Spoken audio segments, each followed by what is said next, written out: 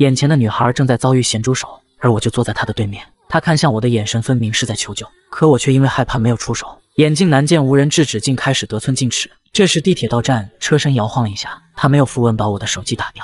我真的害怕，怕我出手将他打坏。其实我是一个保镖，但我却爱上了被我保护的他。从第一次相见，他就生活在水族箱里。他被这栋大厦里的人称为二号始源体。就在我们深情相望时，工作人员又一次来到这里。他们打开阀门，用虹吸的水将他送进一个圆形的水球。每次他被这样带走，都会用惊恐的眼神望着我，而我却什么也做不了。也不知道每次他会经历什么，但是每次回来他都会蜷在角落好久。我暗暗发誓一定要把他救出去。我问明叔可不可以花钱从这里购买试验品，明叔一掌拍在我的脑门，说我看出来了，你小子想为他赎身。然后他却突然严肃地说，在这里千万不要用眼睛去判断真假虚实。正说话间，突然有一个人影出现在他身后，下一刻，这个唯一肯和我交朋友的教授就离开了人世，而连对方的动作都没看清，我也被捅了一刀。然后凶手来到水族馆，竟然要对他也下手。我艰难站起，对着他背后开枪，而他却转过身，一步步朝我走来。每一发子弹打在他身上都被卸掉力量，然后就像硬币一样掉在地上。我堪堪躲开他一记飞踹，终于一拳打到了他，却好像打到了棉花。然后我被他一击锤到刀伤处。正当我疼痛难忍时，他的手已经来到我的头顶。隐隐间，我竟然看到他的手好像是空心的。当他的手摸到我的头，突然好像一头大象用力坐在了我的身上，然后轰的一声，地面竟然凹陷下去。然后他又朝着水族箱走去。而我也再次拿起了枪，这次我瞄准了他的右手，一发子弹射出，那只诡异的右手果然被我击中。于是我顺势冲了上去，用我的格斗技巧和他缠斗在一起，直到他被我死死锁在地面。而这时我看到了他抬起的左手，紧接着我感受到一种失重的感觉，然后我竟扑向天花板，而且我无法用自己的力量从天花板上下来。然后他从左手上撕掉了什么，接下来突然间我脱离了天花板，并重重摔向地面，忍着剧痛我躲开刺向我的匕首。后背却结结实实挨了一刀，接下来便是他对我的单方面碾压。我看到爱人的眼里泛起了泪花，我该怎么办？我还没有凑够赎他的钱，而且我感觉到自己身体状态马上就会死掉。就在这时，我想到了身后的液态能量炉。明叔说过，弄坏他的电路板，这玩意儿会爆炸。当他想一刀了结我的时候，我也已经摸到电路板。水族箱的箱体和水应该可以帮我的爱人挡住一部分爆炸冲击。那么，同归于尽吧，怪物。男人一觉醒来，发现自己被撑开双眼和嘴巴，而且浑身被捆绑，动弹不得，被各种仪器折磨了几个小时，他才明白自己变成了试验品。这些经历就像是在做梦。他记得自己是这里的一个保镖，负责保护一个叫做二号始源体的姑娘，而他却和这个只能生活在水中的姑娘相爱。姑娘也因他也才有了自己的名字，叫做伊东史。他不断的呼喊，告诉别人一定是搞错了，自己不是试验品，自己名叫多悠悠，是这里的保镖。这时有两名工作人员走了进来，多悠悠拼命向前冲去。却没发现工作人员按下一个按钮，顿时他周身布满电流，晕倒过去。再次醒来，他照镜子时发现了异常，现在的样子，五官虽然还是自己，但是头发和眉毛已经明显改变。与此同时，指挥室里一个神秘女人正在听着汇报。七号实验体术后恢复超出预期，只是毛发组织出现了异常，形状和颜色都变成了浅色。原来昨天二号始源体的房间发生爆炸，保镖多悠悠身上严重烧伤，濒临死亡。实验人员于是将一号始源体抬出，并从一号始源体身上取出为数不多的活性组织，将其移植到了多悠悠身上。房间里，多悠悠好像看到自己的饭盒动了一下，再次转头发现饭盒消失无影，地上只剩下一个苹果。而这个苹果竟也在缓缓滚动，可下一秒苹果突然加速，洛悠悠反应迅速，立刻抓住苹果。这种反常的景象让他一阵狐疑，谁曾想紧接着他和苹果都消失不见。他带着苹果出现在另一个空间。当他环顾四周，这里和自己的房间布置一模一样。这时身后传来有人吃东西吧唧嘴的声音，转头一看，却是一个体型巨大的胖子。胖子也回过头，恶狠狠地看向了他。这只手因为装了一根脊椎，变成了一个吸尘器。随着他隔空一抓，别人手中的苹果就瞬间到了胖子手中。胖子说自己以前很瘦，而且先天脊椎很软，只能常年卧床。直到有一天，一个漂亮女人来到他家，告诉他可以为他移植一根独一无二的脊椎。于是他就来到了这里，成为了四号实验体。他告诉多悠悠，这里是非自然现象研究科，并介绍自己叫做海南。多悠悠终于明白了，自己也变成了一个实验体。但他诧异的问海南，为什么这里的人会把他养得这么胖？海南却告诉他是自己偷吃变胖的。自从手术之后，自己终于能够站起活动，但是食欲却也越来越大。每天分配给自己的食物根本不够吃。但他突然发现自己只要一挥手，食物就能自动到来，于是自己就胖成这个样子。然后他表示对目前的生活很满意。多悠悠突然想到了什么，他对海南说：“除了把食物传送过来，你有没有想过把自己传送出去？”海南羞羞地说自己最大的愿望就是吃，根本就没想过其他的。难道你不想逃出去吗？用你的能力完全可以办到的。你要知道外面有多少美味佳肴正等着你。这句话仿佛打开了海南的任督二脉。下一刻，他就带着多悠悠传送到另一个空间。多悠悠观察一下环境，竟然是厨房。而这时，海南已经蹲在冰柜前开始用餐。海南，我们先出去再说，以后大把的机会吃。谁知海南直接把他甩飞，然后头也不回，又开始往嘴里塞起来。于是多悠悠只得自己溜出。凭借自己在这里工作多年，熟悉环境，他来到了关着伊东石的水族馆。只要拉开水族箱上的布，他就能和爱人相见。但就在此时，他眼前景象变成虚幻。下一刻，他又被传送到一个陌生的地方。多悠悠四周看看，发现竟然是垃圾场，然后看见海南正蹲在他面前吧唧吧唧啃着垃圾，而海南这时一脸怒气的盯着他：“你这个骗子，说外边有美食，但我吃东西时却被人追着打，我饶不了你！”然后海南一伸手，多悠悠瞬间飞起，下一刻脖子便被海南抓在手中。这个在垃圾堆里偷吃的胖子，其实是长短跑双料冠军，一百米好成绩是零点一秒，而且他力气超大，单手就能把一百七十斤的多悠悠举起，然后像发射炮弹一样把他轰进泥土。多悠悠忍着疼痛转身就跑，他不能和胖子纠缠，他还要赶回去救出自己的爱人。但是下一刻他身体随后瞬间就被传送回胖子。与此同时，一记老拳把他打飞。谁知多悠悠刚飞一百米，胖子竟突然原地消失，零点一秒跑完全程，再次抓到多悠悠，紧接着又是一记勾拳，直接将多悠悠轰进垃圾堆。打累之后，胖子再次把多悠悠举起。你骗我，你分明是要逃走，害得我出来吃个东西也要被人追着打。海南，不是你想的那样。随着胖子发狠，他背后竟隐隐出现了一个虚影，然后他一把将多悠悠垂直抛起，随后伸手一抓，一根竹竿就瞬移到手中。只见胖子将竹竿往地上用力一戳，尖锐的一端直直对准下落的多悠悠。急速下落中，多悠悠脑海中传来诡异的声音：“告诉我，你想活下去吗？”惊慌中，他脱口而出：“我想活着。”下一刻，多悠悠的头发竟然不可思议的开始变形。直接变成一个巨大的金属圆筒落下，瞬间截断胖子的手腕，而金属圆筒的上方竟形成弹簧结构，直接将多悠悠从竹竿上方弹开，并跌落到远处的地面。胖子捂着断臂，彻底发狂，伸出另一只手一爪，直接把多悠悠的脑袋抓在手中，并扬言要捏爆他。随着胖子一使劲，手中血花溅起，但露出痛苦神色的却是胖子。只见他仅剩的一只手已经严重损坏。回头望去，多悠悠好像变成了一只刺猬怪。原来刚才他头发再次变换成了一个带刺的头盔。而这时，多悠悠脑中那个诡异的声音再次出现：“小胖子已经失去双手，他已经不能用传送能力了。现在你可以做掉他。”但多悠悠却用意念对那个声音说：“我不知道你是谁，不过不要试图蛊惑我。”然后他对海南解释着自己并没有骗过他，甚至对自己头发为什么会变形也毫不知情。可胖子哪里肯听，一步一步朝着多悠悠走来。多悠悠脑中那个声音戏谑地说：“真是可悲的仁慈。”下一刻，胖子飞身扑来，在这时传来一声枪响，胖子愚痴的生命被彻底终结。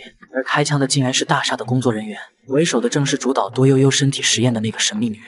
女人爱上了男人，却要杀掉他，因为她爱的竟只是男人的头发。她抚摸着他优美的卷发，毫不掩饰的抒发爱意。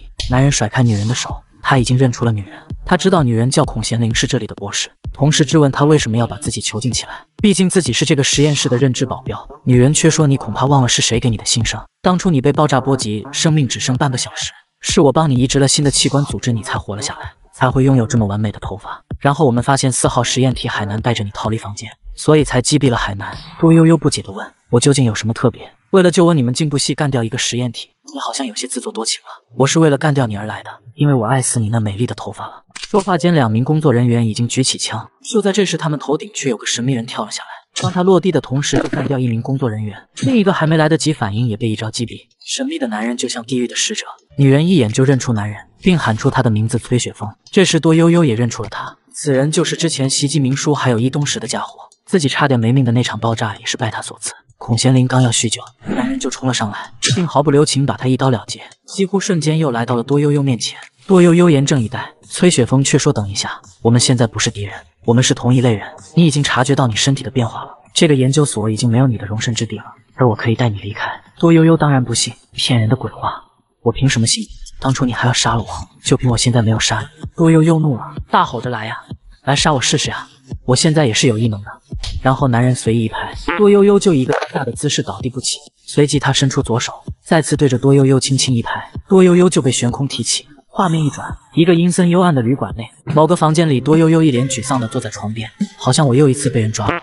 这个男人投胎失误，脸上忘了张嘴，于是每天戴个金属口罩装酷。多悠悠愤怒地将男人扣在墙上，崔雪峰却轻飘飘在他头上套了件衣服，转身告诉多悠悠穿好衣服跟自己来。会告诉他想知道的一切。多悠悠沮丧地望着崔雪峰的背影，为什么自己对上他从未占过上风？两人来到旅馆的地下室，里面竟然别有洞天。崔雪峰告诉他这是自己的工作室。多悠悠一抬头，竟然发现了熟人，大胖子海南竟然在大水缸中漂浮。崔雪峰不紧不慢，缓缓讲述：四号实验体海南移植了始源体的脊椎，因而获得空间传送能力。现在他已经死了，把他丢进液体，只是在保持他体内脊椎的生命状态。而你多悠悠移植的是皮肤组织。多悠悠说：“等一下，始源体就是小石吗？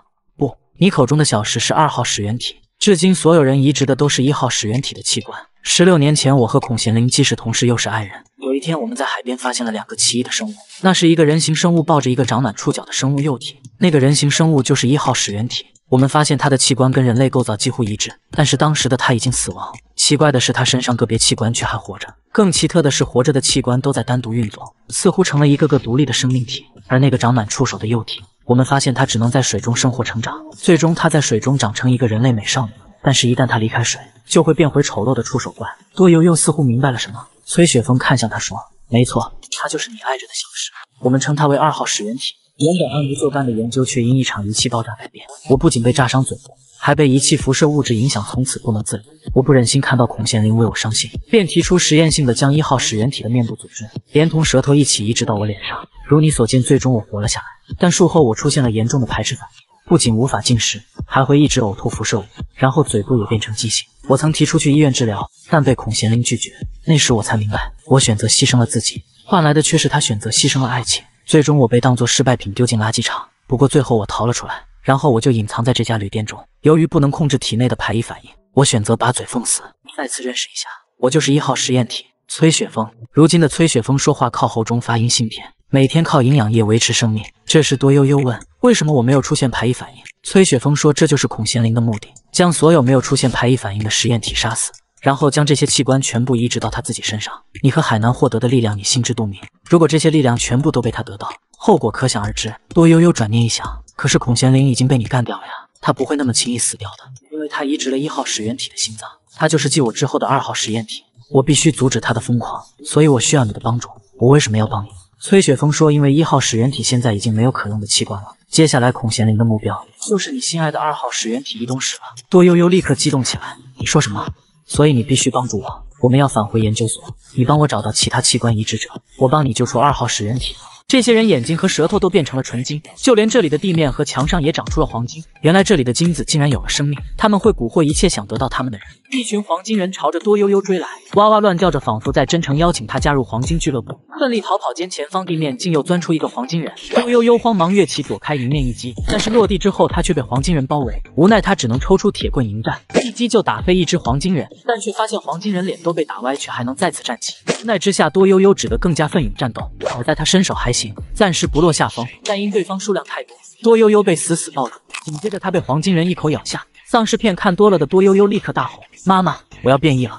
这时，他脑中一个悠悠的声音传来：“小哥，看来你需要力量哦。”多悠悠立刻想起这个声音，当初在垃圾场和海南的决战，就是他给了自己不可思议的能力，并试图蛊惑自己。你到底是谁？那种力量到底是怎么回事？小哥，你的回答让人很伤心哦。你的皮肤被烧毁了，是我让你获得的新生。我就在你银色的头发里，同时我还给了你独一无二的力量。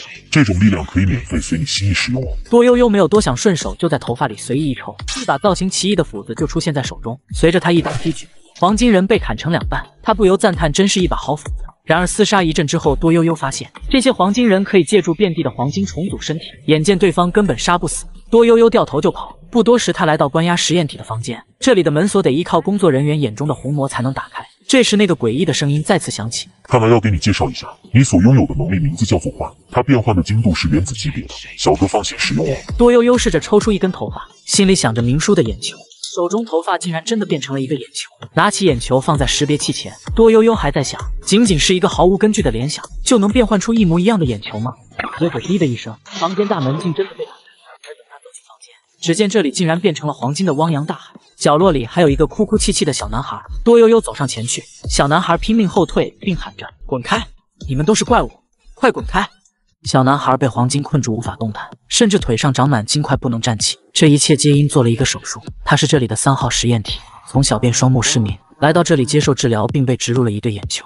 然后奇迹发生了，他竟然看到了眼前漂亮的姐姐。而有一天，他的病房里凭空掉落一个小金块，然后两名工作人员就当着他的面开始争夺，并且两人出手越来越重，渐渐的两个人好像失去了全部理智，最后他们都变成了怪物，一种眼中长着金块的可怕怪物。听到小男孩的描述，多悠悠抽出一根头发，眨眼间就变出一个大黄蜂汽车，然后把它递给小男孩。看到眼前哥哥阳光的笑容，小男孩心里的恐惧似乎减少了一些。由于小男孩腿部长满金块，不能走路，于是多悠悠将他背起。准备一起去找伊东时，但小男孩身上金块的重量着实让他有些吃不消。谁知刚走出房间，就遇见了黄金人。失去理智的黄金人朝着两人就扑了上来，却发现多悠悠和小男孩竟原地消失。原来刚才的两人竟是多悠悠的头发幻化出来的，而此刻真实的两人正在楼梯间狂奔。好不容易到达伊东石的房间，多悠悠发现这里也已被黄金占领。难道小石已经遇害了？想到这里，多悠悠双腿瘫软，跪倒在地。就在这时，他们头顶扑来一个巨大的黄金人，定睛一看，竟然是三个黄金人融合而成。多悠悠带着小男孩堪堪躲开攻击，随手就对着自己头发一抽，然后他举起变换出的利斧，高高跃起，利斧劈下便斩断黄金人一条胳膊。刹那间，多悠悠手中斧头再次变换，这次变成了一支左轮手枪。多悠悠对着巨大黄金人连开数枪，却被黄金人抓住脑袋，然后直接飞在墙壁上。就在黄金人再次扑来之时，刚才掉落的左轮手枪瞬间变换成一个手雷。然后轰的一声巨响，黄金人被炸成两段。多悠悠嘚瑟的朝着小男孩走来，可小男孩却面色凝重的说：“哥哥，你的，你的身后。”只见出现在身后的是一个庞然大物，这个巨大的黄金怪兽身上全是一张张黄金面孔，也不知道它究竟融合了多少人。这个纯金打造的巨大怪物，是因为人们无尽的贪欲才诞生。它身上每一张面孔都是一个被欲望吞噬的财迷。刚开始只是一个小金块引起人们争夺，在黄金的蛊惑下，他们渐渐失去理智。最终变成了长着黄金眼球的黄金人，然后这些黄金人渐渐融合在一起，就变成了眼前的巨大怪物。为了保护小男孩，多悠悠选择勇敢面对怪物。怪物一击中拳，多悠悠直接起飞，然后怪物的几个头颅离开身体，朝着多悠悠迅速飞来。多悠悠瞬间被几只黄金头颅捆绑在空中，这些头颅只会疯狂撕咬，没有一丝人性和理智。怪物将它砸向地面。紧接着又一次将他拽起，似乎要一次次的摔打多悠悠，直到他失去生命。危急时刻，多悠悠头发变换出刀刃，将缠绕自己的黄金触手切开。刚才的刀刃已经变成一把电锯，然后战斗陷入焦灼状态。多悠悠一次次切下怪物的手臂，而怪物的手臂却不断再生，似乎永远不会被彻底杀死。但多悠悠却一直在受伤，身体状态不断下降。他看到怪物身上那一张张人脸，每张脸都疯狂吃鱼，满是欲望。多悠悠此时心里已经明白，正是这些无尽欲望的滋养，才让这个怪兽永远杀不死。突然一个念头闪过，他想出对策。只见他一口气吹出，地上电锯变红，转眼间变为一个巨大的红钟出现在怪物头顶，霎时间猛地落下。竟引得大地震颤。既然不能干掉你，就暂时把你困住。多悠悠转头对小男孩说：“趁现在，我们快走。”谁知此时地上一只金手悄悄立起，竟是刚才打斗中怪物被截断的残肢。下一刻，他猛地朝着多悠悠飞来，瞬间将多悠悠的脑袋包裹严实。这时，小男孩却朝着多悠悠缓缓走来。此刻的他表情阴险，就像换了个人。你可真难对付啊！七号实验体，若不是你截断了我宠物的一只手，我还真不知道怎么解决你。然后，小男孩突然变得很生气，为什么？为什么你不喜欢我的黄金？为什么你不被它吸引？为什么你不肯做我的宠物？你不但不喜欢我的黄金，竟然还要保护我！你这个蠢货！而此时多悠悠已经不再挣扎，没了动静。算了，不重要了，你将窒息而死，而我会获得你的头发。还有，别把我当小孩，我只不过是移植了器官后身体不再生长。忘了告诉你，我的名字叫黄金。就在黄金得意时，一辆玩具汽车急速朝着他驶来，黄金脸上立刻露出惊恐。这辆玩具车是之前多悠悠送给他的。刹那间，玩具车竟然飞跃而起，空中瞬间变换形态，成为一根尖锥，噗的一声穿过黄金的身体。黄金突然觉得很讽刺，那个蠢货把自己当成受惊吓的孩子，为了安抚自己送出的小汽车，竟然变成了干掉自己的武器。与此同时，多悠悠脑袋上的黄金禁锢瞬间解除，他狠狠地吸了一大口空气，然后质问黄金为什么要这么做。黄金却笑他很幼稚，难道你不觉得所有移植了一号始源体器官的人都逃脱不了互相厮杀的命运吗？什么鬼逻辑？你真是幼稚的一塌糊涂！每个人都想得到始源体的全部器官，那傻瓜。而黄金刚刚咽气，崔雪峰就扛着个怪异的容器走了进来。他告诉多悠悠，孔贤玲已经不在这里了，其他的实验体也都不在这里了。看来孔贤玲知道我们会来研究所，于是提前撤离了。然后他打开那个怪异容器，把黄金装进容器里，而容器里竟还有一个长满触手的怪物。这个丑陋的生物浑身是宝，移植了他的眼睛可以点石成金，移植了他的脊椎可以获得空间传送能力。而被移植之人也被放大了欲望。胖子得到空间传送能力，却每天只做一件事，每时每刻都会将方圆一里内所有食物召唤过来。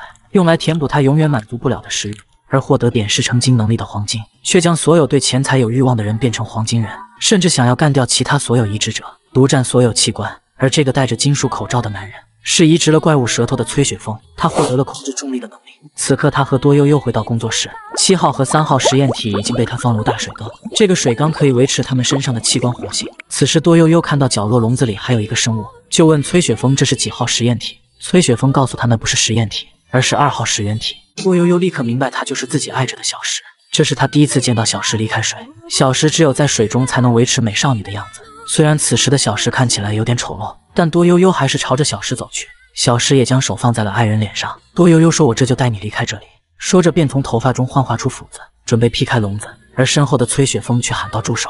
多悠悠手中的斧子停下，心中暗想：果然如此。然后他没回头，对着崔雪峰说：“你果然也要露出真面目了吗？”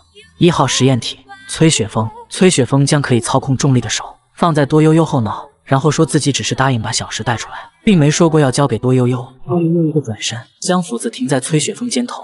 我猜的没错，你也想得到所有器官，你想得到我的头发，我能理解，但你不能对小石下手。崔雪峰却说，看来这趟研究所之行，你从黄金那里知道了不少秘密。但我要告诉你，我的目的的确是搜集所有器官，但却不是你想的那样。我不是为了拥有它们，这些秘密我之前没有告诉你，是因为怕你变得和黄金一样。被自己的欲望驱使。现在我觉得可以把一号始源体真正的秘密告诉你了。远古传说中的全能之神真身却是这个丑陋生物，而他也并非真神。在地球上还没有陆生生物前，他就已经居住在深海之中，直到他身体死亡才第一次上岸。而这时人类已经进入现代文明。通过研究发现，即使他已经身死，但身上还有七处器官保持着活性，而且只要移植了这些器官的人，就能获得一种特殊异能，比如操控重力、空间传送。演石成金和随意变换，这种顽强的生命力虽不是永生，但对人类来说也是无尽的生命。所以有人想获得他所有的器官，获得无尽的生命和强大的力量。而崔雪峰的目的，则是搜集所有器官，并且摧毁他们，让人类世界重回平衡。多悠悠反问他：“难道你就不想得到永生吗？”崔雪峰摘掉面具，露出没有嘴的面部说：“付出这样代价的永生，要他何用？”多悠悠，我能看出来，你追求的不是永生。我不会杀了你。我会取走你的皮肤组织后，帮你换回正常人类的组织。多悠悠却说让你失望了。然后他抡起斧子，立刻劈开爱人的牢笼，将小石抱起。我没有你那么高尚，我只想和小石在一起。谁都别想再从我身边把小石夺走，包括你。在多悠悠简陋的家里，他盯着浴室门看了好久。小石这么久没出来，他没事吧？犹豫再三，终于鼓起勇气推开门。小石，你没事吧？然后。最后，多悠悠给小石拿来了浴巾。当他想拉着小石的手出门时，小石却推开了他，还微笑的对他摆了摆手。多悠悠知道小石不愿从水中走出，他不愿离开水后的丑陋模样被自己看到。但这些难不倒多悠悠。卧室里买个浴缸安排上，等小石探出头一看，立刻眼冒小星星朝着浴缸飞奔。扑通一声，水花四溅。多悠悠温柔的给他搭上浴巾，只要浴巾是湿的，你披着浴巾走出浴缸也不会变身的。这时，小石幸福的赏了他一个香香的吻，之后便是平淡幸福的生活。由于研究所被毁，多悠悠就找了份超市收银的工作。即便她的头发可以随意变成钞票，但她决定不再使用异能，今后只过平静的生活。直到这天，小超市来了一个红色头发的美少女。这个男人有个如花似玉的女朋友，更幸运的是每天早上还能尊享惊悚叫醒服务。然而，即使这样，男人还是深深的爱着她，因为女朋友一旦进入水中，就会赛过西施貂蝉杨贵妃。如此美貌的女友也阻挡不了他上班偷看妹子。多悠悠心里想着，这个妹子身材加三分，容貌加四分，年轻加一分，一共得九分。而妹子竟然好像听见了他的心声。结账的时候，妹子说他是变态，而且数学真是天才。第二天，多悠悠到垃圾时看到小街里有人影，定睛一看，竟然是一群人在欺负昨天的妹子。妹子被他们推翻在地，黄毛女刚要一脚踹上去，却发现有人用腿帮女孩挡下攻击，并且一只手拍在了自己肩膀。只见多悠悠怪异且严肃地说：“麻烦让一下，工作人员要丢垃圾。”多悠悠把人吓跑后。红发美女看着他，心里想：这个变态一定会借故搭上我。谁知多悠悠连看都不看他一眼，顺手拽起妹子枕着的垃圾袋，妹子尴尬的顺势倒地。做完一切，多悠悠直接走开，仿佛当妹子不存在。原来昨天晚上，多悠悠跟小石说，今天碰见个妹子，如果小石也穿上 JK 裙，应该比红发妹子还好看。结果小石立刻给他来了次爱的教育。多悠悠立马态度真诚的保证以后坚决不再看妹子。第二天，妹子再次来到便利店，而不一会儿，三个寻仇的恶霸也找了过来。为首的黄毛女扬言要让大哥教训多悠悠和妹子。多悠悠立刻跳出收银台，从她的表情可以看出，当时她很害怕，她害怕把恶霸身体打坏。这次事件后，他接受了警察爱的教育，并且顺便也丢了工作。这时，红发妹子走来要请他一起吃饭，见多悠悠有点犹豫，妹子摆出请神下凡的姿势，多悠悠无奈之下只得跟妹子一起进餐。席间，妹子给多悠悠讲了自己姐姐的故事。原来她叫白鸽，有一个双胞胎姐姐，从小两人就形影不离的生活在一起。但是，一场车祸改变了这一切，姐姐离开了人世，而白鸽也失去了一只手。然后白哥伸出左手，告诉多悠悠，这只手就是姐姐留给自己的。医生把姐姐的手移植给了自己。中途，白哥上完洗手间，却发现多悠悠已经结账。这时，不知为何，妹子表情突然变得诡异深沉。两人从餐馆出来，白哥也反常的没有说一句话。中间无数次，他用眼睛瞟向多悠悠，而多悠悠依旧一路叭叭叭叭说个不停。就连他被白哥一掌推出时，还在眉飞色舞。他回过神，发现自己已经飞离人行道。多悠悠猛地回头一看，一辆轿车正疾驰而来，司机慌乱的表情仿佛是在说：“艾玛。”要撞上了，来不及刹车了。这个男人手掌喷水拍向四十万的轿车，要用自来水阻止一场车祸。只见他水龙头一样的头盔里，眼睛坚定如铁。瞬间，刚才速度八十迈的轿车化为液体。被救者多悠悠此时一脸震惊，望着这个帅气的背影。然后他想到什么，突然一回头，只见远处将他推到车行道的白鸽一脸阴沉。下一刻，白鸽转身逃离现场。回到家，白鸽质问床边的女生为什么要这么做。女生转过头，竟然是他已经死去的孪生姐姐。姐姐温柔地摸着妹妹的脸，告诉她这样做的原因。原来今天刚刚失业的多悠悠，为了吃饭不让女生请客，付款的时候无奈用一根丝带变成钞票，而她拥有异能的秘密也就此被白哥发现。下一刻，姐姐竟掐住白哥脖子：“我这么做都是为了你，他必须死。”随着姐姐一使劲，白哥晕倒在床上，姐姐却对着他说：“妹妹，你休息一下，我帮你干掉那个魔鬼。”这样你才能安稳的在这个世界上活下去。第二天，白哥约多悠悠见面，多悠悠此时对这个女人心有余悸。夕阳下，白哥对多悠悠说对不起，并说昨天把多悠悠推到车行道，是因为突然有一瞬间把她当成了自己舅舅。那场车祸后，自己被舅舅收养，之后每天舅舅对自己做出禽兽的事。说到伤心处，白哥痛哭流涕，竟一下扑到多悠悠怀中，然后可怜楚楚的请求多悠悠收留自己，自己真的害怕回到舅舅家。最终，多悠悠黑着脸将白哥带走，因为家里有小食，他决定把白哥安置在小酒店里。房间里场面一阵尴尬，突然白哥向多悠悠温情表白，并表示希望多悠悠留下来陪自己。多悠悠听到这里，抓起桌上的矿泉水，对着自己一通灌，然后找了个尴尬的理由就要溜溜球，但突然间他两眼翻白，扑通倒地。只见此时的白哥脸上再次变成阴沉的表情，原来矿泉水里早被白哥提前放了内容，你永远不可能离开这个房间了。然后白哥举起刀，直接朝着多悠悠刺下，接着几滴血滴到多悠悠脸上，只见白哥另一只手拼命握住了刀身，白哥大吼着：“为什么阻止我？”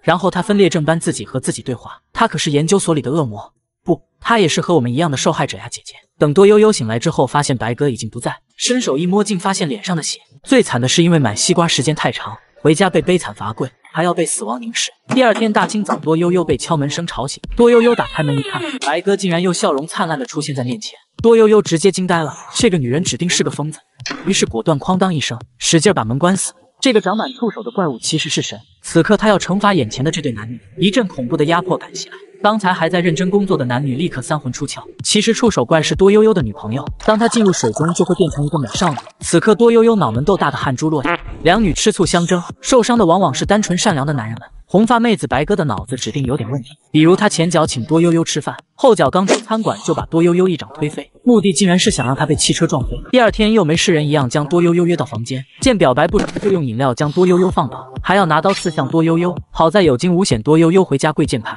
可第二天白哥又一脸灿烂来敲门，多悠悠吓得直接将门锁死。谁知这疯女人竟然对着房门猛踹，多悠悠露出无辜的小眼神，问他有啥事。白哥一记小拳拳朝着多悠悠挥来，于是他再次如愿进了屋，然后他再次表白。多悠悠被吓得差点跳起来，可这女人竟直接将他放倒。这时正牌女友早已暴怒到极致，多悠悠安抚着小石的情绪，然后对白哥说出了小石的身世，并表示自己对小石忠贞不渝。白哥当即笑得灿烂，表示刚才只是跟多悠悠开个玩笑。而等他一出门，脸色立刻黑了下来，阴沉地说。和你共度余生的人怎么可能是那个怪物？应该是我。然后白哥去了墓地，对着父母的墓碑讲述了这些天遇见多悠悠的点点滴滴。等他离开时，迎面碰见一个银色长发的男人，而男人看到白哥却愣在原地。然后男人转头看了看白哥父母的墓碑，是他，竟然是他，他是那个幸存者。原来男人来墓地也是为了祭奠白哥的父母，这一切都是因为毁掉白哥家庭的那场车祸。当初的货车司机就是眼前的男人。男人看向自己的手，说：“看来另一只手应该就在这个女孩身上。”原来男人移植了一号始源体的一只手，而白鸽移植了另一只。男人对着白鸽的背影说：“希望你已经从悲痛中走了出来，而我会让你将拥有的力量用在正道上。”然后男人想起刚才听到白鸽说的话，明白了差点被车撞到的多悠悠也是异能者，而男人正是当时将多悠悠救下来的人。小姑娘，那个多悠悠就由我帮你处理吧。第二天，多悠悠正为今天能早点回家见到小石而开心，突然看见一个熟悉的身影，他立刻认出长发男就是当时救下自己的恩人。然而恩人却对着他一脸皮笑。武神居住深海三十万年，将死之际才怀抱幼崽上岸寻人托付，怎料其身七处器官被移植给七人，皆因每种器官都有强大异能，得其舌头者可获宇宙引力。星辰运转，草木成形，皆因引力；得其脊椎者可获空间之力，上下四方为宇，虚空探物，自在腾挪十万八千里；得其眼球者可获火眼金睛，五行之金坚且力，视线内万物化为真金；得其右手可获水之力，行之水力万物，也可化万物为水；得其左手可获他心通，听他人心意如闻耳畔低语；得其皮肤毛发可获七十二变，诸多变化全凭心意；得其心脏者会获得什么？看官老爷可评论区猜测一下。今日水之力硬刚七十二变，究竟孰强孰弱？水男率先发动攻击，悠悠痛苦倒地。他抬头质问是否存在什么误。水男回答并没有，紧接着将脚抬起。过分了！之前明明救过我的命，为何今天无故袭击我？能再告诉你。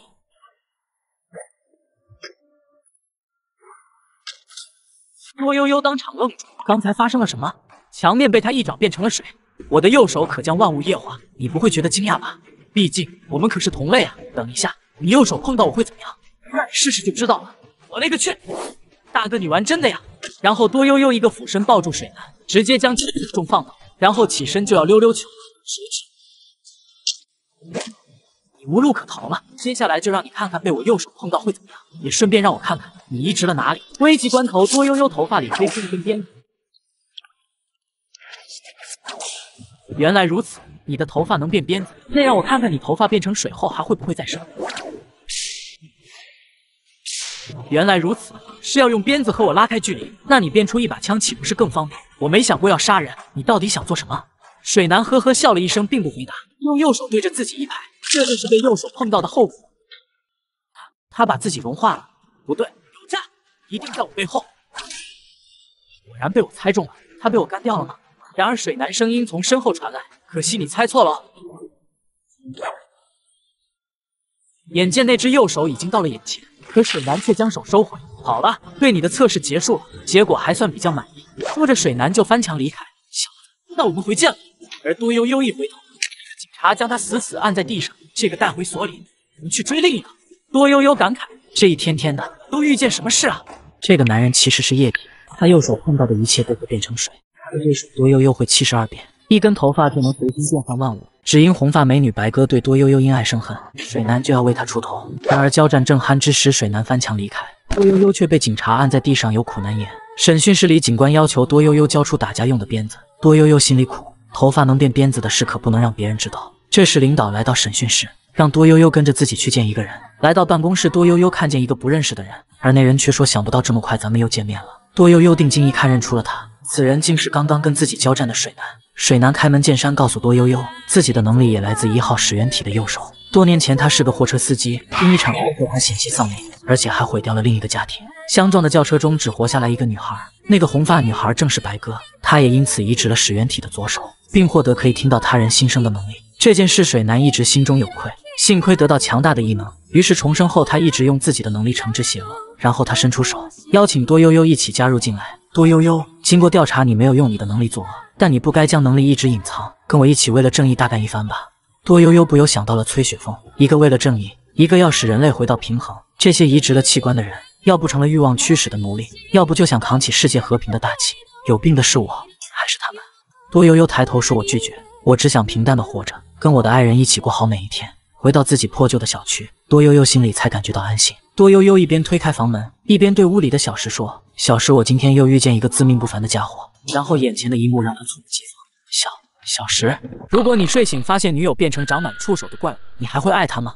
别担心，只要将她放进水中，你就能看见世间最美的女生。为了和女友平淡生活下去，多悠悠决定忘掉自己的异能，并拒绝了那些满嘴正义家伙的邀请。可谁料再次回家，他却看到女友躲在水。焦急之下，他将女友送到崔雪峰工作室。毕竟崔雪峰之前是研究所的医学研究员，而崔雪峰却说自己无能为力，因为小石不是人类，所以所有人类医生都束手无策。目前他能做的只有先将小石的器官保存起来。多悠悠听到“器官”两字，突然醒悟，然后他对崔雪峰说：“既然理论上一号始源体的器官全部移植到人身上可以使人永生，那么这些器官用到小石身上效果一定更好。毕竟小石是二号始源体，我会去把所有器官都夺回来，最后也包括你的舌头和我的头发。你说你要销毁所有器官，但为什么你却一直用水缸保持着他们的活性？你的真实目的我不管，但是如果你敢打小石的主意，我绝不饶你。然后他开始逐个寻找其余移植者，第一站就是警局。我决定接受那个人的邀请，加入你们。然后警官给多悠悠介绍起了那个人，他叫文荒奇，用水的能力帮了我们不少忙，但他却不归我管，因为他不是警察。我知道你们这群人的来历，也明白你们拥有的力量。我有我的目的，就是将你们的力量用到正道上。这一点上，我和文荒奇志同道合。如果你要找他，我只能告诉你，他现在去找这个女孩了。这，这是白鸽，他也是异能者。你加入我们的第一个任务，就是帮助文荒奇说服白鸽加入。如果他不肯，那就除掉他。从警局出来，多悠悠开始盘算怎么拿到文荒奇的右手，同时他也诧异白鸽竟也是移植者。而就在这时，手机传来信息，居然是白鸽在求救。根据白鸽发的地址，多悠悠来到一处废旧工地，然后看到白鸽躲在角落颤颤巍巍，而他身后是紧追而来戴着头盔的文荒奇。你要做什么？你不是要劝他加入你们的吗？罪之人不配做我们的同伴。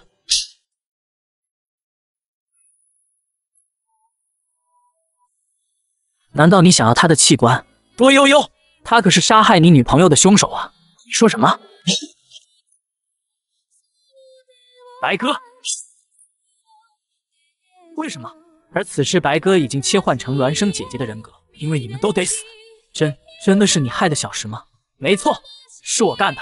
女神相貌完美，却求爱十一次，但次次失败。然后其中九次她一发狠便手刃情敌，但每次做完这些，她竟会觉得很委屈，因为这些事情都不是她做的。真凶其实是她已经死去的孪生姐姐，她的人格终日在自己和姐姐之间切换。此刻，她正以姐姐的人格对多悠悠放着狠话。说自己的傻妹妹那么痴情，但你竟敢有自己的女朋友，所以他才出手，只为了给妹妹出一口气。多悠悠已经忍耐不了这个恶毒女人的屁话，伸手在头发里一转，一条鞭子幻化而出。你和海南、黄金他们一样，内心扭曲。我只不过想远离纷争，和小事好好过日子。然后随着多悠悠一用，见多悠悠惩罚了邪恶文荒奇走过来，看来我们都秉承着正义，欢迎你的加入。然而回应他的却是一鞭。我要你的右手！看来我下结论早了点。随后，文荒奇对着鞭子一挥，鞭子直接化成水，而多悠悠再次对着头发一转，那把熟悉的斧子出现在手中。你还有最后一次机会选择，加入我，就数你自己。就在这时，刚刚掉落的斧子再次化形，瞬间变成一只白猿飞起。你没有机会了。这时，多悠悠脑筋飞快转动，他终于明白了自己的变换之力，目前只能作用在一根头发上，而且无法主动撤销已经发生的变化，只有上一根变化结束后，才能再次使用变换之力。他的断臂竟然变成了水，伤不到我的，因为我根本没有血肉之躯，我的身体是由液体构成的。既然你是个水人，那就用火把你蒸发掉。而燃烧中的文荒奇却不屑地说：“难道你不知道油也是液体吗？那我先把你这该死的头发烧掉。”啊！烈焰的灼烧下，多悠悠逐渐开始失去意识。就在这时，脑中那个诡异的声音再次出现：“真是让人操碎了心呀！”多悠悠的嘴型竟也开始和声音同步。多悠悠，你也真是太弱了！刚从白哥捅你的那一刀就想又得让我亲自出马。给我睁大眼睛看好了，这个名为幻的神奇能力，最正宗的打开方式。绝世妖猴孙悟空的头发移植到凡人头上会发生什么？多悠悠的头发因此获得七十二变化，抽出一根头发就能随心变换万物。然而今天多悠悠遇到生死危机，头发第一次占据他的身体，展现完全体。他称自己为幻，随着他口中轻轻一吹，万丈业火就被熄灭大半，全身化为燃油状态的文荒奇，此刻惊叹这是何等强大的能量，但他下一刻却不知死活发起进攻。你果然不明白我们的实力差距，无知蝼蚁，叫你看看何为力量。仅此一招，文荒奇便只剩下一根手臂。多悠悠，相会总是短暂，下次可别再被打爆了。随着换的离体，多悠悠感到一阵虚脱。换真的很强，接下来，多悠悠准备取下白鸽的左手，而地上的白鸽竟然还没死。他用手抚向自己疯狂爱着的男人面颊。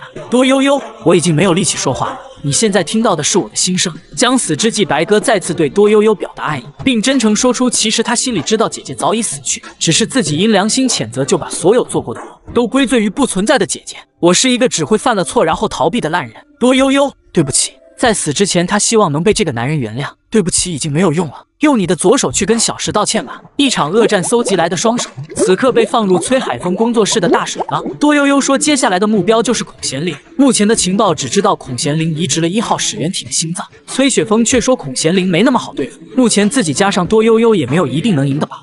多悠悠问孔贤灵的异能是什么？崔雪峰说，他的能力近乎无敌，那个能力甚至在生死的范畴之外。就在这时，崔雪峰手机传来一条短消息推送，消息内容竟和孔贤灵有关。今日孔贤灵教授召开发布会，关于外星人和超能力的谜团或许将被揭开。孔贤灵竟然先他们一步展开了行动。死了十万年的怪物身上的器官却还活着七个，而他们却被移植到七个人类身上，变成了七个邪神。获得七十二变的多悠悠独自解决掉了其中四个。他们分别是可以操控空间的可将万物化为纯金的黄金，能变万物为液体的文风奇，还有可以听到别人心中所想的白鸽。而在多悠悠背后，还有一个隐藏更深的人物，他就是可以操控重力的崔雪峰。怪物的器官将这些人欲望放大，堕落成魔。一旦有人将所有器官集齐，就无人能敌，终将成为人类世界最大的威胁。孔贤玲此次发布会的发言过于劲爆，巨大的危机感使得台下所有记者都屏住呼吸。但是孔贤玲却隐瞒了最重要的一点。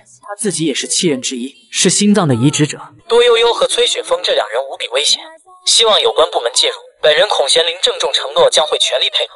看完电视报道，多悠悠站起来说：“怎么办？我们被整个人类世界敌对了。”他是在寻求保护。多悠悠，眼下你只能去自首。随着多悠悠走进警局，所有人严阵以待。多悠悠也如愿获得了一对新手镯。孔贤林优雅坐下，并指了指左上角。示意多悠悠，这里有监控，不要妄想耍什么花样。你们把其他实验体的器官藏在哪了？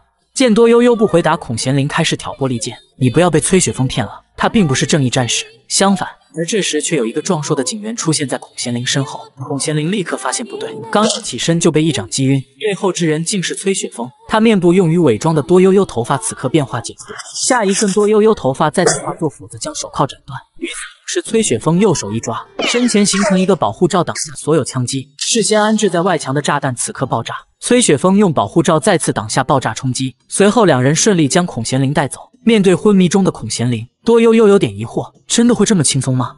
而转眼两人就再次来到街上，然后多悠悠再次走进警局自首。孔贤玲继续说着上次的话题：崔雪峰是在利用你，你要小心。然后化妆后的崔雪峰再次出现在他身后：你真是个喜欢背后说人坏话的女人。然后两人再一次顺利带走孔贤玲。多悠悠说：“总感觉进展的有点太顺利了。”然后，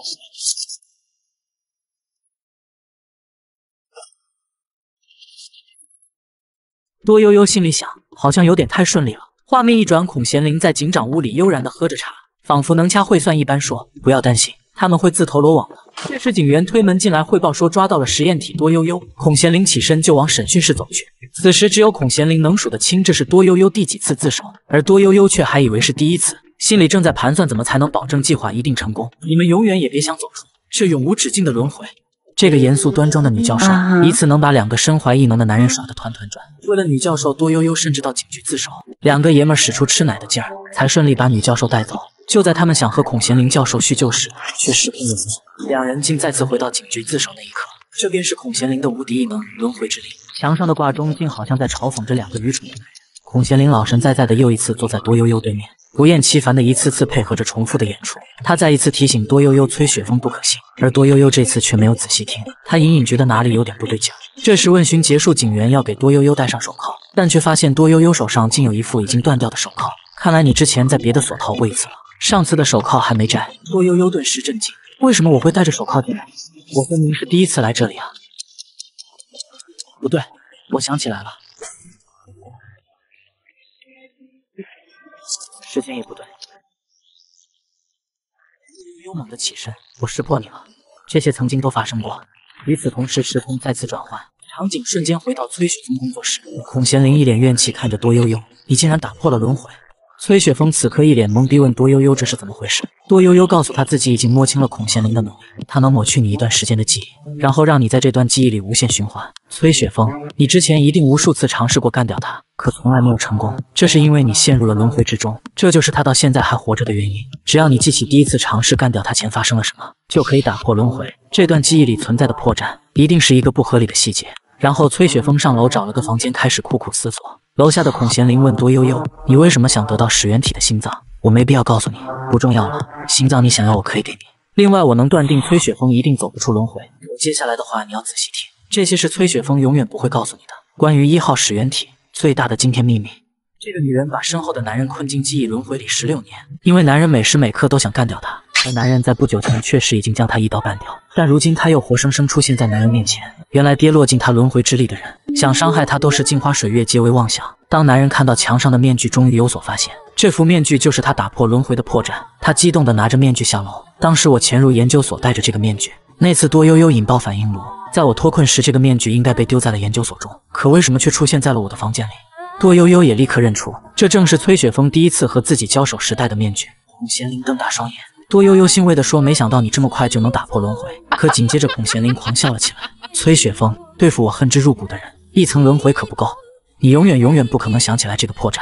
崔雪峰愣了一下，然后淡淡的说：“孔贤林，女人毕竟是女人，你反复告诉我不可能找到破绽，恰恰是在给我提醒。你要知道，有些事情并不是我记不起来，而是我不愿想起。”然后，崔雪峰脑中开始闪烁出记忆的画面，从两人的青梅竹马，到第一次表白，到共同研究一号始源体。再到理念不同开始争吵，最终爱情走到尽头。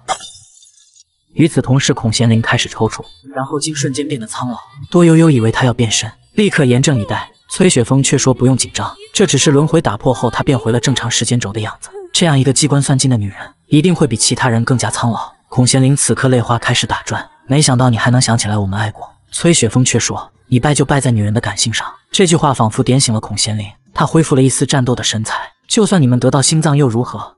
想要集齐器官，还得有你们俩身上的头发和舌头。你们准备谁牺牲谁获利？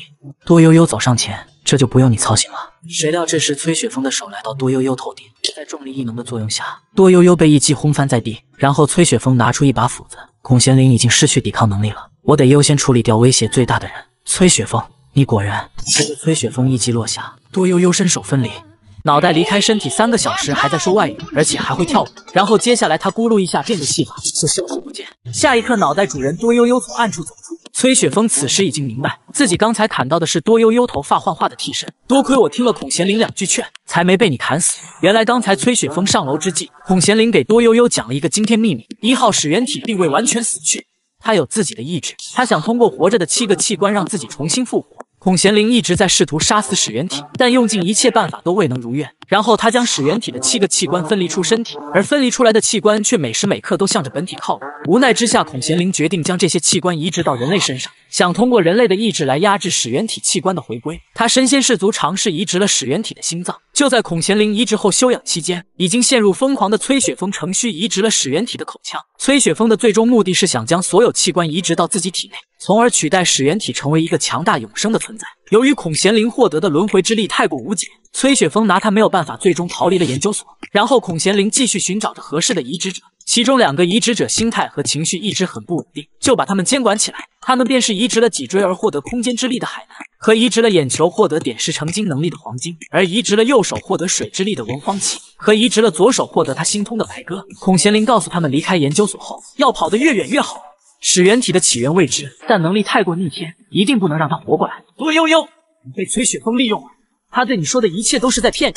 他说想销毁所有器官，为什么一直在保持这些器官的活性？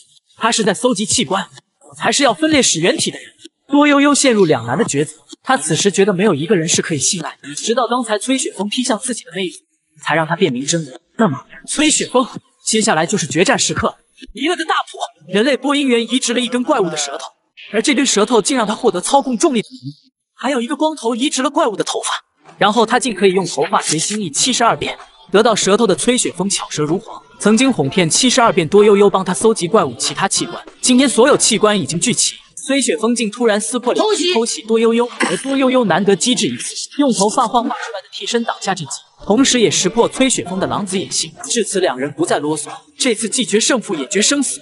崔雪峰率先发起攻击，多悠悠举壁格挡，但被轰飞。然后他一记扫堂腿攻其下盘，趁其跌倒立刻跃起，再次幻化出那把顺手的斧子。与此同时，崔雪峰将手置于口前，再次挥手，竟形成一个保护罩，堪堪挡下多悠悠的力斧。然后崔雪峰左手凝聚重力，向着多悠悠抓来。这招对我已经没用了，这招对付蠢货百试不爽。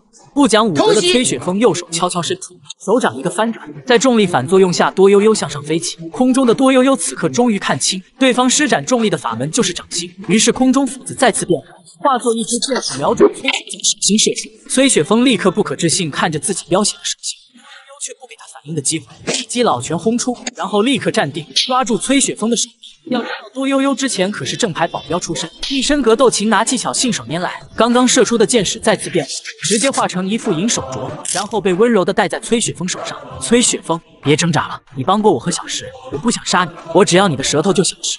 回应他的是崔雪峰一个前空翻，多悠悠直接遭受一记被摔，就连孔贤玲都看不下去了。多悠悠，你这个蠢货，这种时候怎么能有妇人之仁？这时，崔雪峰用手从嘴中一抽，然后抽出一张贴纸，形状竟和他手心里的一模一样。随后，他将贴纸轻轻一丢，多悠悠瞬间承受了十倍重。这时，多悠悠才真正明白，崔雪峰的一切神通都源自口中的贴纸。然后，崔雪峰再次挥起利斧，孔贤灵暗叹一声：“完了，要剧终了。”他是绝世大妖孙悟空的人间代理人，一身七十二变神通就藏在他头发之中。他是海贼王海军大将藤虎的孙子，对重力的操控目前已有藤虎的七成水准。七十二变的多悠悠此时被重力压倒，动弹不得。而重力操控者崔雪峰此刻已准备将利斧劈下。危急时刻，多悠悠变换出一个液体防护罩，被液体溅了一身。崔雪峰发现那竟然是有不抽烟的多悠悠，不知道从哪摸出一个火机。一瞬间，崔雪峰变成了一个火。奈何天公不作美，天花板上竟有烟感灭火器。多悠悠自语道：“这么多油烧起来，这点水不可能浇灭。”，挣扎了两下，就从火中露出淡定的眼睛。火焰竟被他的保护罩逼退了。你把我的贴纸想得太简单了，你烧不掉贴纸，更杀不死我。然后崔雪峰在脸上一撕，竟露出了完好无损的嘴和怪物的舌头。原来就连把嘴缝死这件事也是在欺骗多悠悠。多悠悠感叹：不愧是男人的嘴，骗人的鬼。然后多悠悠就向头发中揪去，准备再次发动攻击。崔雪峰却说：“我没有要杀掉你的意思，我只想要你的皮肤和头发，用它们来换你女朋友的命，你觉得划算吗？”多悠悠如遭雷击，打了这么久，他才想到自己根本没有注意小石的情况。果然走到水缸处，小石已经不在了。混蛋，你把小石弄哪去了？放心，他很安全，只不过还没有醒过来。我可以保证他的安全，只要你将器官交给我，我保你和小石能过回二人世界。我以我的个人信誉做保证。你有信誉？你在跟我开玩笑？不过形势比人强，多悠悠不得不低头。然后厄运就轮到孔贤玲、崔雪峰，你还有人性吗？一点点旧情都不念吗？都跟你说过，你败就败在女人那该死的感性上。生命的最后一刻，孔贤玲流下一滴不值得的泪水。身怀无解轮回之力的孔贤玲，卒。正所谓两难大战，猛如虎。定睛一看，女人族。你见过头发得了癌症吗？对头发动手术，你又可曾听说？如此高难度的手术，全球也只有这个医师会做。他可不得了，就连他的舌头都是自己给自己移植的，而这竟不是人类的舌头，它来自这个叫做一号始源体的怪物。怪物的每个器官都能赋予移植者神奇的异能，只要取下病人的头发，他就可以集齐所有器官，取代怪物成为新的始源体。为了让多悠悠安分被手术，崔雪峰拿手机给他看了看，屏幕里是被崔雪峰藏起来的多悠悠女朋友。崔雪峰说：“我会让你睡一会儿，醒来之后你就可以安心和女朋友团聚了。”说着就要给多悠悠注射麻醉针，很可惜我还不困。下一刻异变突起，多悠悠变成了头发换的完全体。疯了！你不管你女朋友死活了。小石是二号始源体，你怎么舍得杀掉他？小石的照片里有紫色的毛巾，据我所知，只有你崔雪峰的旅馆里用紫色毛巾。那么事情就简单了。说话间，多悠悠突然出手，一手伸进崔雪峰口中，然后顺势猛力一扯，有什么东西被抓在了手中。我只需要把你干掉，然后把你那该死的旅馆翻个底朝天，就能找到小石了。就在这时，崔雪峰的身体发生异变，身体里的贴纸像不要钱一样吐了一地。与此同时，多悠悠摊开手掌，却看见手中抓的不是舌头，而是贴纸。不得不说，崔雪峰的变身有点恶心，他不停的呕吐，并像个异形一样不断蠕动，最后变成了一个不伦不类的怪物。有人说过你很丑吗？不过我很惊讶，你竟然也有变身能力。其实崔雪峰也很意外，他原本以为只有自己可以和器官融合变身。于是头发怪和舌头怪的巅峰对决现在开始。多悠悠一拳抡起，直接把崔雪峰轰了个透心凉。而崔雪峰的身体竟也能变形。下一刻，一个巨大的舌头幻化而出，对着多悠悠就使用重力，轰的一声，多悠悠被砸进墙里，差点抠都抠不出来。多悠悠不慌不忙地说：“我发现变身后有个好处，就是可以突破只有一根头发可以变化的限制。”下一刻，多悠悠竟用头发幻化出一排加特林，然后对着崔雪峰就是一顿。直接把崔雪峰轰了个稀巴烂，但帅不过一秒。对面的来了个模仿秀，同样一排加特林正在急速成型。我也发现了变身的好处，那就是可以突破肉体的限制。这个丑陋的人形怪浑身是宝，移植了他的心脏可以操控时间轮回，移植了他的右手可以化万物为水，移植了他的左手可以听到他人心声，而移植之人却被放大欲望，移植了舌头获得操控重力的崔雪峰，妄想取得所有器官成为永生的超人。如今挡在他面前的只剩下移植了头发的多悠悠。让他惊讶的是，多悠悠竟也和自己一样，可以变身成器官的完全体。当多悠悠变换出加特林枪阵，崔雪峰化作无数重力纸片贴在多悠悠身上，顿时多悠悠被重力压制，站不起身。不过霎时间，多悠悠悠头发幻化为火，将纸片烧个干净。而此时空中却还有一个漏网的纸片，他竟开始说话：“我的纸片是无穷尽的。”随着说话，纸片开始复制，然后崔雪峰头颅再现，我可以变换任意形态，还能继续从舌头里产出贴纸，无穷无尽，如滔滔江水绵延不绝。我虚实无形，你又如何战胜我？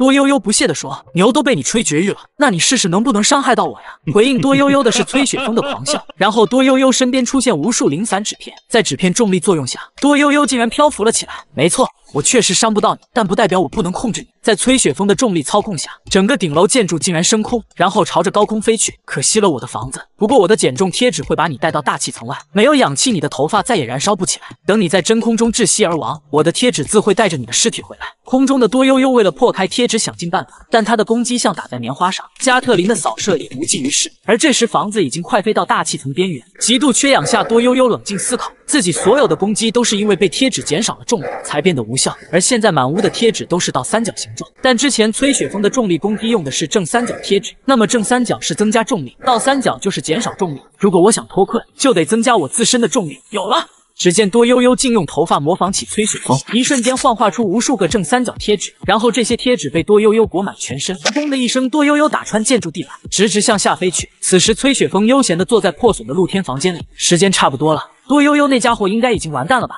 而此刻他头顶传来呼啸的破空声，那个打不死的小强正急速朝着自己俯冲而来。崔雪峰，拿命来！这个飞碟的造型竟然模仿人类的教堂，而驾驶员却抛弃飞碟，肉身朝着地球砸来。急速飞行中，他一路火花带闪电，快要落地时，他手中幻化出一个像风筝一样的巨大贴纸。地球人崔雪峰直呼对方不讲武德，砰的一声，他便被这巨大贴纸砸进地面。原来这贴纸上竟然蕴含着恐怖的重力异能，而这异能却原本属于嵌在地面的崔雪峰。重力异能老师傅崔雪峰隔着贴纸发出嘲笑，然后他身体出现保护罩，将巨大贴纸撑开。此刻他对多悠悠的头发无比向往，对方竟然连自己压箱底的重力贴纸都能变出来。然后他身体化作无数贴纸，并凝聚在多悠悠背后上空。多悠悠头发顺势变换出火焰，崔雪峰再次化作无数贴纸散落开来。崔雪峰，你已经输了。无论你变出多少贴纸，我只要比你多一张就可以。而且不好意思，我已经发现了你的命门，那就是你所有的贴纸都是由一张复制出来的。而我的头发变换万千，你怎么能敌？我抓到你了，崔雪峰。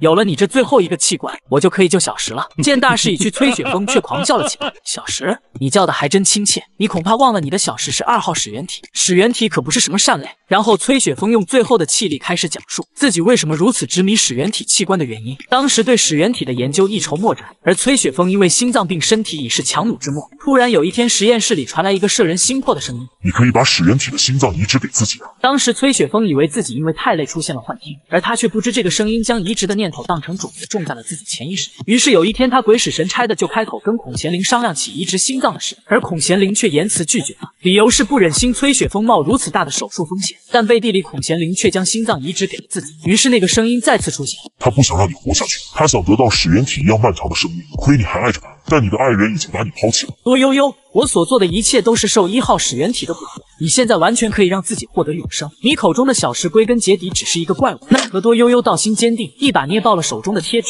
你们这群人总喜欢为自己的过错找理由吗？至此，搅动整场器官争夺战的崔雪峰，足。然后多悠悠拽下一根头发，一口仙气吹出，变换出无数蝗虫，开始在崔雪峰旅馆里地毯式搜查小石的位置。深夜，窗外出现了一个巨大的人脸。他还亲切地告诉眼前的男人自己吃了他女朋友。多悠悠闻名遇遭雷击，自己为救小石拼命战斗，结果爱人却丧生于怪物之口。下一刻，他就要用头发幻化武器为小石报仇，而怪物却说：“年轻人，先别急着动手。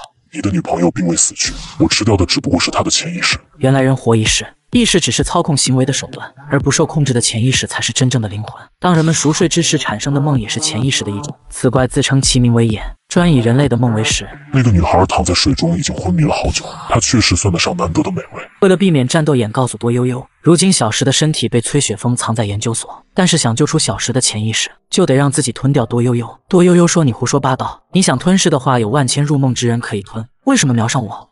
实不相瞒，你身上有比梦更美味的东西。你的头发让我欲罢不能，它和之前那些舌头、心脏、手臂等等一样，美味至极。那这样就能说得通了。快吞了我吧！洛悠悠救人心切，朝着窗外舞跃而出。这里是梦境世界。女孩迈着优雅的脚步走过学校走廊。她叫伊东石，是一个普通学生。每次她经过七班教室，都会往里眺望。那里有一个怪怪的人，永远不说话，扭头望着窗外操场。小石每天都会隔着墙壁对他说一声早安，但从来没有被回应过。这样一个神秘的男生，鼻子、眼睛会是什么样呢？小石心里想着男生，同时在纸上画出星星。其实仅仅每天早上能看到他的背影，我就满足了。这天因为帮老师整理文件，小石回家时已是深夜。夜晚街上无人，寂静无声。小石尽量走在路灯照射下，因为他已经感觉到身后有个人影在尾随自己。突然，前方路灯下，他看到一个人影。他急中生智，装作和那人影认识。亲爱的，今天因为帮老师整理文件，所以放学有点晚。身后尾随的身影见此情形，顿住脚步。而路灯下那个人，能再见到你真好，小石。这个巨大的怪物总在深夜悄悄来到人类窗前，他窥视着所有早睡入梦的人，他会无声无息地吞掉早睡者梦里的意识。前不久，他刚刚吞掉眼前男人的女朋友，还告诉男人，如果想英雄救美，就得被自己吞掉。只有想办法使梦中的女孩意识到自己在做梦，才可以将其救出。但同时，男人也得时刻面临永坠迷梦醒不来的风险。多悠悠听罢，就跳入怪物口中，营救小石的信念，他从未有过一丝动摇。于是，有情人在梦中路灯下相见，但这时小石却在面临危险，他身后有一个黑影正在尾随。然而，诡异的是，当小石进入路灯照射的范围，突然身后的黑影顿住脚步，他竟发现自己跟踪的女孩瞬间消失不见。当多悠悠向小石深情表达思念时，小石看向多悠悠的眼神竟闪过惊恐，随即他慌张转身离开。风中的多悠悠伸出手，却留不住逃离的爱人，也抚不平自己凌乱的心。梦中的小石不认识多悠悠，但他每天都在默默关注另一个男生。那个男生总是扭头看着窗外操场。就当他隔着窗户跟从未谋面的男生说早安时，多悠悠出现并喊出了他的名字。小石惊恐回头，再次慌张跑开。多悠悠对着他的背影解释这里是梦境，告诉他自己找他多么辛苦，告诉他这一切都不是真实的，这里只是一个梦。回应他的却是一句“你有病吧”。看着认真上课的小石，多悠悠心里出现了犹豫。小石在这里有平稳的生活，还有那么多朋友相伴，甚至好像有了心仪的男生，而且他再也不怕离开水了。其实现实中的小石只有在水中才能保持美少女的心态，一旦离开水就会变成怪物。也许这个世界还有他的父母和姐妹，虽然那些亲人是虚构出来的，但小石毕竟在这里变成了活生生的人。多悠悠犹豫了，自己想救出小石的想法是否太自私了？而就在这时，面前的池塘泛起涟漪，水中一个怪物朝着多悠悠扑来，赫然是怪物形态下的小石。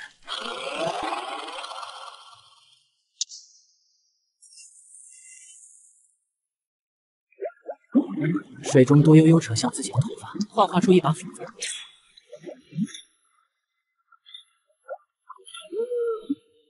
这里是小石的梦境，为什么会出现小石脱水后的怪物？难道这是小石的噩梦？不好，小石有危险！小石，快离开这里，他马上就要来找你了，他会把你的美梦变成噩梦。放开我！你到底是谁？你再胡闹，我就要报警了！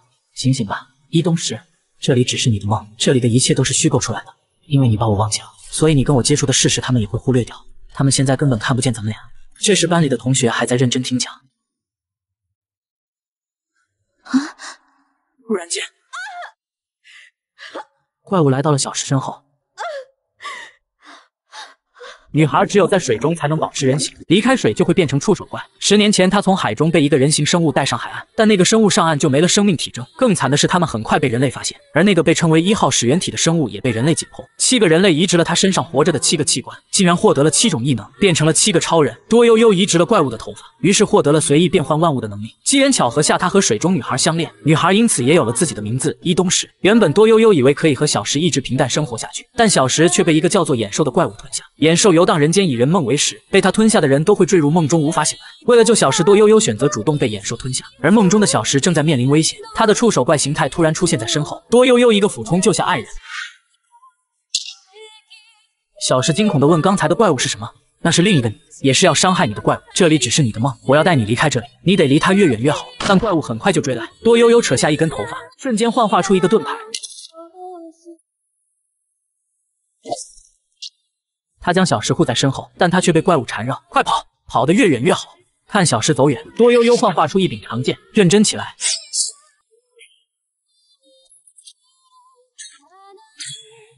终于把怪物制服，多悠悠朝着小石追去。可是突然，开枪之人竟然是已经死去的海南。海南移植了始源体的脊椎，生前拥有掌控空间的能力。多悠悠想不明白，已经死去的海南为什么会再次出现。海南对多悠悠说：“时辰已到。”紧接着。攻击之人赫然是移植了眼睛的黄金。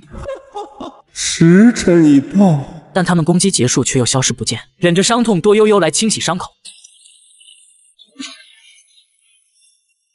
水中出现的竟是移植了右手获得水之力的文荒器。这些人不已经死了吗？多悠悠不想纠缠，但这次是移植左手获得他心通能力的白鸽。时辰已时辰已到，只见龙方气化身为油，沾满多悠悠全身。与此同时，一把大火在多悠悠身上燃起。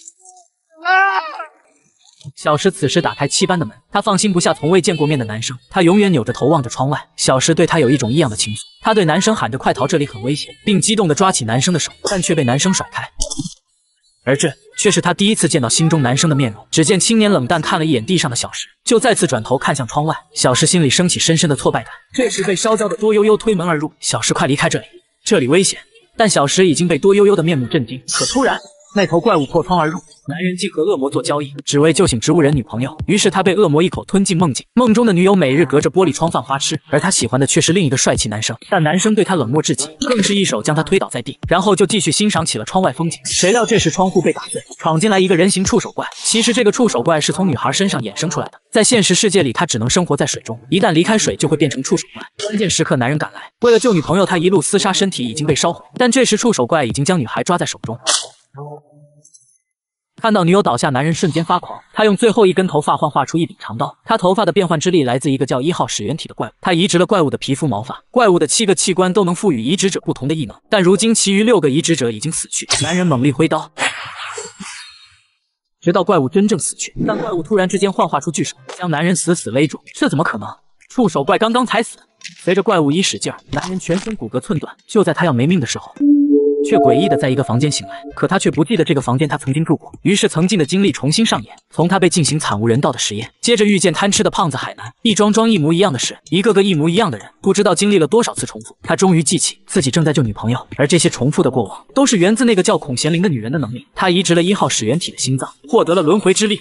随着他看破虚幻，他瞬间回到原本的时间线中，而袭击自己女友的怪物已经被自己挥刀了结。这时又一个熟人出现，他竟是移植了舌头获得重力能力的崔雪峰。崔雪峰淡淡的说：“别挣扎了，你斗不过命。”他身后跟着的正是孔贤玲。孔贤玲告诉眼前的男人：“你以为你挣脱了轮回？不，这里还是轮回世界，而且是永远没有出口的轮回。”多悠悠，你永远出不去。恍惚间，所有器官移植者都出现在多悠悠面前，他们异口同声地对多悠悠说着一句话：“时辰已到。”而这时，多悠悠女友梦中暗恋的男人走向怪物，并将其抱起，然后怪物竟发出一阵光芒，光芒散去后，竟变成了多悠悠的女友。接着，神秘男人亲吻了她，然后女孩变成点点荧光，并最终消散。多悠悠，你做的不错。作为回报，你的女友在现实世界已经醒了。不过。你将会永远留在这里。我被人类称作远古全能之神，但生成丑陋模样。当我终于从海中上岸，却耗尽所有生命。我记忆已经错乱，记不清楚当时为何怀抱一个怪物幼崽。当我被人类解剖研究时，仅仅是我身体已死，但七个器官还活着，就震惊了这群渺小的人类。而我残存的意识躲进了这些器官，他们日夜对我研究，却破解不了器官活着的秘密，甚至动用各种手段都无法使其中一个器官真正死去。对我越是未知，他们研究的越痴迷。我读到了他们心中的贪婪，于是我开始试着诱惑他们。我需要他们移植我的器官，需要有一个家伙可以帮我复活。我最看重的是这个叫做崔雪峰的人，他心思缜密深沉，最重要的是他埋藏颇深的野心。为了驱动他，我下了猛料，先是诱惑他移植我的心脏，挽救他病殃殃的身体，然后却悄悄蛊惑这个叫孔贤玲的女人，先一步移植了心脏。果然，这对曾经的恋人决裂，心中无女人，拔刀自然神。开始你的表演吧，男人。但我心脏中的轮回之力太过无解，即使崔雪峰移植了我的舌头，获得操控重力一幕，也一时拿他没有办法。但我有的是耐心。人类和神的第一个区别就是生命长度，我等得起。而这些满心妄念的人类，在成神的诱惑面前，焦急如热锅之蚁。渐渐的，我的其他器官分别被移植出去，但这些人我大多不满意。这个叫海南的胖子移植了脊椎，获得了空间之力，如此神力竟被他用来召唤食物，满足食欲。果然，他第一个被干掉，竞争中败下阵来。还有那个移植了眼球的黄金，只懂用金子引诱人们变成他玩耍的陪人。这个叫文荒奇的男人移植右手获得水之力，天天想着为世间主持正义，真是拿大炮轰蚊子。岂不知人类狭隘的价值观在神的智慧面前，只配为刍狗。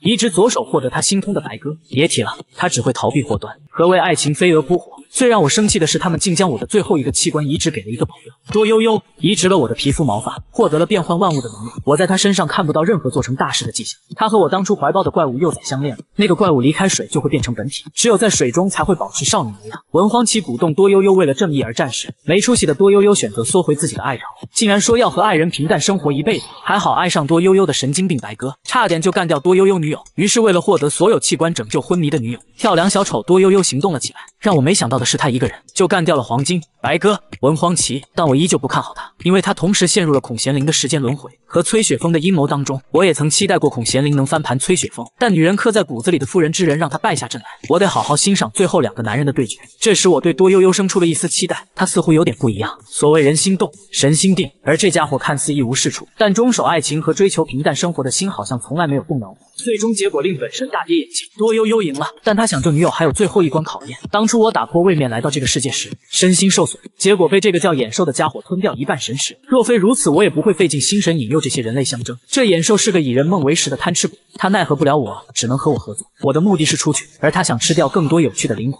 他在我的建议下吞掉了多悠悠女友的意识。果不其然，多悠悠为了救女友，直接跳进野兽口中。然而他反眼蒙尘，竟把意识世界中女友的本体当成怪物。为了解救我幻化出来的虚假女友，正牌女友被他干掉，真是干得漂亮。随着多悠悠进入野兽世界，我所有器官上的意识都回归我的本体，于是这个空间再也困不住我。离开这里之前，我做了两件事：一是为多悠悠同学安排了一场盛大的谢幕演出，让所有移植者对他说了句“时辰已到”。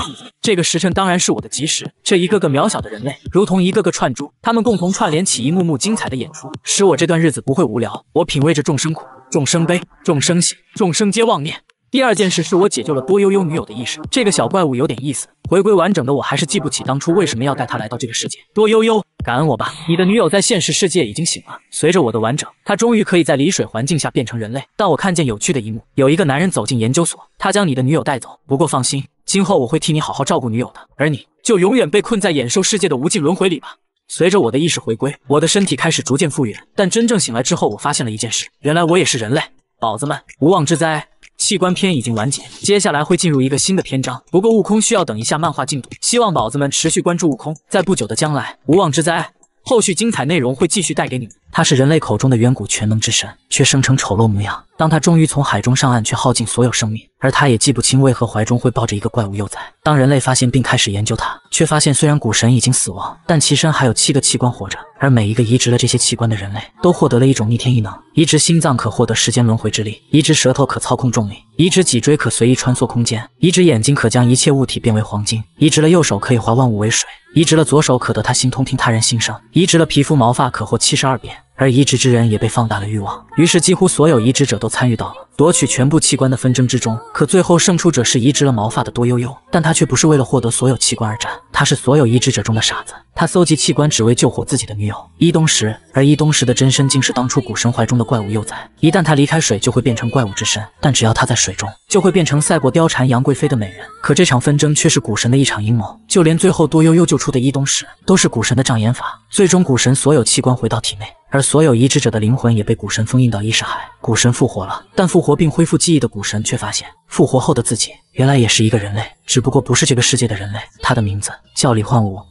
纷争过了几个月后，当初的怪物伊东石此时正陷入一片黑暗中。他听见有个阴森的声音在呼唤自己的名字，可当他回头，出现在身后的赫然是当初抱着他上岸的古神。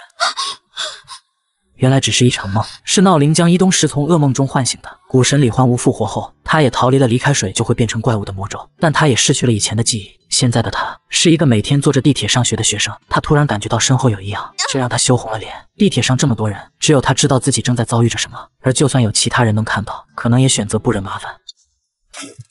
好在有人出手解决了麻烦。出手之人叫张莹，是伊东石的哥哥。他和伊东石在一个学校。伊东石记忆中，张莹的父母收养了遭遇车祸后的自己，还为自己注册了学籍，待自己亲如一家。上课时，伊东石在想，张莹哥哥的父母会不会认识自己的父母呢？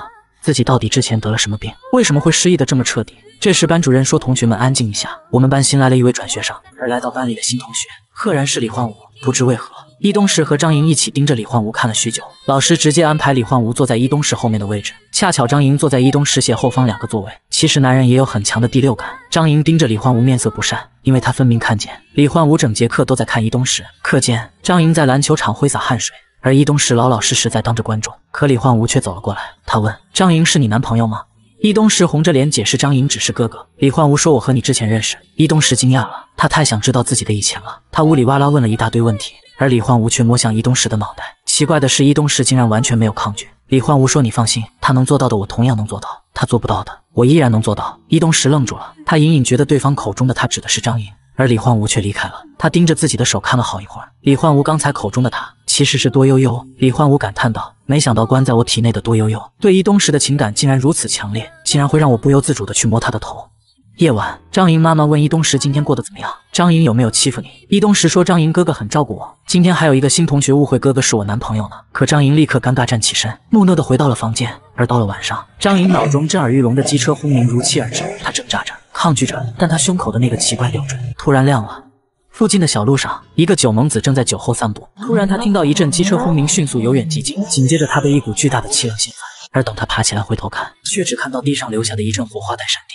人类传说中的远古全能之神，却深藏于海底五十万年。五年前，他突然上岸，可他的无尽生命竟已走到尽头。而奇怪的是，他竟用命守护了一个幼小的怪物，而这怪物如今变成了一个女孩，但女孩已经失去记忆，真的把自己当成了一个中学生。而他更不知道，他上学的路上有一辆车一直在跟踪着他，车里坐了一个白发壮汉和一个眼睛绿毛。绿毛劝壮汉先不要冲动，可壮汉却举起刀说：“你在教我做事，谁给你的优越感？”但下一秒，两人愣住，因为有个白发中学生正往车里窥视，嘴里还喃喃着：“果然高级车从车窗外看不到里边呀。”壮汉拉下车窗说：“你小子在找死吗？”而车里的两人已经同时警觉，开始摸向手边的武器。男生似乎很惊讶地说：“原来车里有人啊！”但下一秒，男生表情变得阴沉。他说：“伊东石已经是高中生了，不需要家长再来送他上学了。你们两位家长回去吧，上课要迟到了。”男生走了，车里两人立刻明白，盯着女孩伊东石的不止他们俩。这时，壮汉突然看向车门框上，那男孩竟在车里留下了一张诡异的贴纸。紧接着，汽车像被空气捏扁。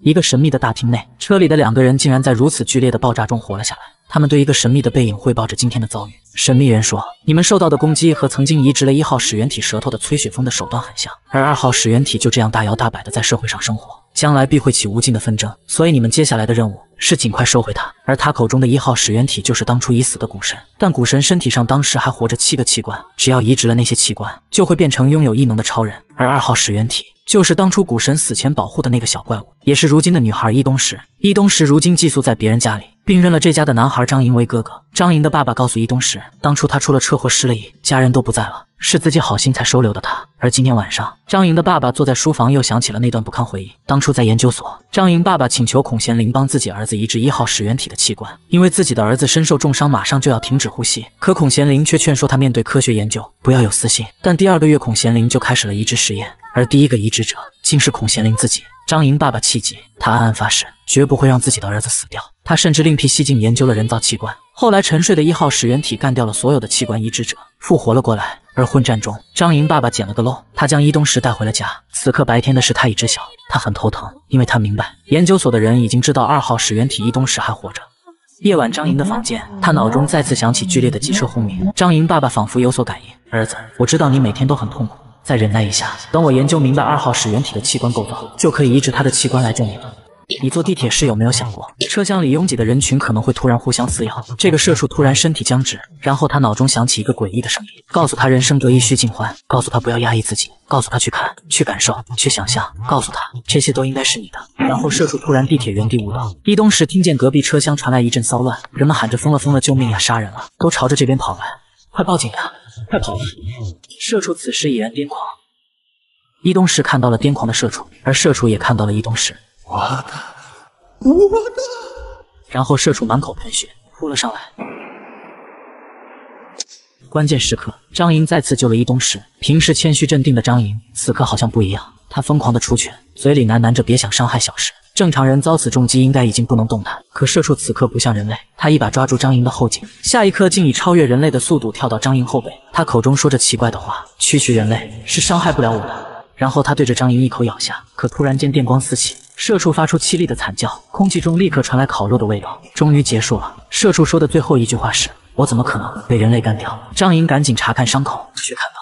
自己被撕咬的肩膀竟然露出钢筋铁骨。伊东石关心张莹，刚要上前查看，可张莹迅速拉起上衣。车厢里最淡定的是一个黑影，他竟然是李焕武。他轻声喃喃：“你们可全都不是人类啊！”警局里，张莹说那人发了狂，咬遍一条街，咬我时不知碰到了哪根电缆，自己把自己电死了。老警官觉得真是荒谬，他妈给荒谬开门。于是他突然出手扯下张莹的衣服，张莹也惊呆了，自己的伤口竟然愈合了。但现在可不是任由世界观崩塌的时间，于是他只得沉着应对，先出了警局再说。晚上，张莹的脑中又传来恐怖的机车轰鸣，他快要疯掉了。他无比深刻的明白了，自己真的不是人。从警局回来，他就问爸爸自己的身体到底怎么回事，为什么是机械，为什么能自己愈合？爸爸是一个牛批科学家，他给张莹看一个名为“人造器官”的手稿，里边绘制着艰涩的图形，但能看出来是在设计以机械代替人体的手稿。张莹说：“这是新一代机器人吗？”但爸爸说：“不，这是你，我的儿子。”爸爸说，在你很小的时候，一次玩耍中你受了重伤，正常的医治已经挽回不了你的性命。于是我盗用了研究所的技术，加上我自己的理解，将你改造成了人造人。儿子，爸爸能听到你每晚都在惨叫。爸爸知道这副身体还不够完善，再忍耐一下，再忍耐一下。爸爸已经找到了更好的材料，爸爸一定会让你摆脱痛苦。可爸爸不知道，张莹每天晚上的痛苦并不来自于身体，而是体内好像还住了一个人。张莹用力扯下自己的表皮，我真的不是人。这晚，他不再压抑自己痛苦的叫喊，他胸口的神秘吊坠光芒更盛了。而其实张莹每次发狂，隔壁房间的伊东石都听得真真切切。第二天，课间的学校走廊，张莹被人无意撞了一下肩膀。小子，你眼瞎吗？谁给你的胆子，敢撞本大爷？曾经品学兼优、不苟言笑的张莹，竟然突然性情大变。少年刚成年，却发现自己不是人，而是一个机器人。而当年偷偷把自己改造成机器人的，竟然是自己的亲爹。原本少年还有恋爱的想法，他心里暗恋着自己亲爹给自己认养的干妹妹。可这天地铁上有个感染了神秘病毒的社畜要对妹妹行凶，少年为了爱情上前搏斗，可他却发现发疯的社畜不知为何被电死，而自己的肩膀竟露出了钢筋铁骨。他立刻明白了，自己是一个机器人，社畜是被自己电死的。而最重要的，他将无法和人类恋爱生育，但他并不知道，他喜欢的妹妹其实也不是人类。妹妹失忆前只有在水中才能保持人形，一旦离开水就会变成一个怪物。而少年的爹竟想用怪物妹妹的器官将少年变回真正的人类。得知自己不是人，少年性情大变，于是别人只是碰到他肩膀就被他揍趴在地。老师念他是初犯，让他写检查，他却屌屌的回头说了一声切。老师抓住他胳膊说：“张莹，你到底是怎么了？怎么变得这么狂躁？”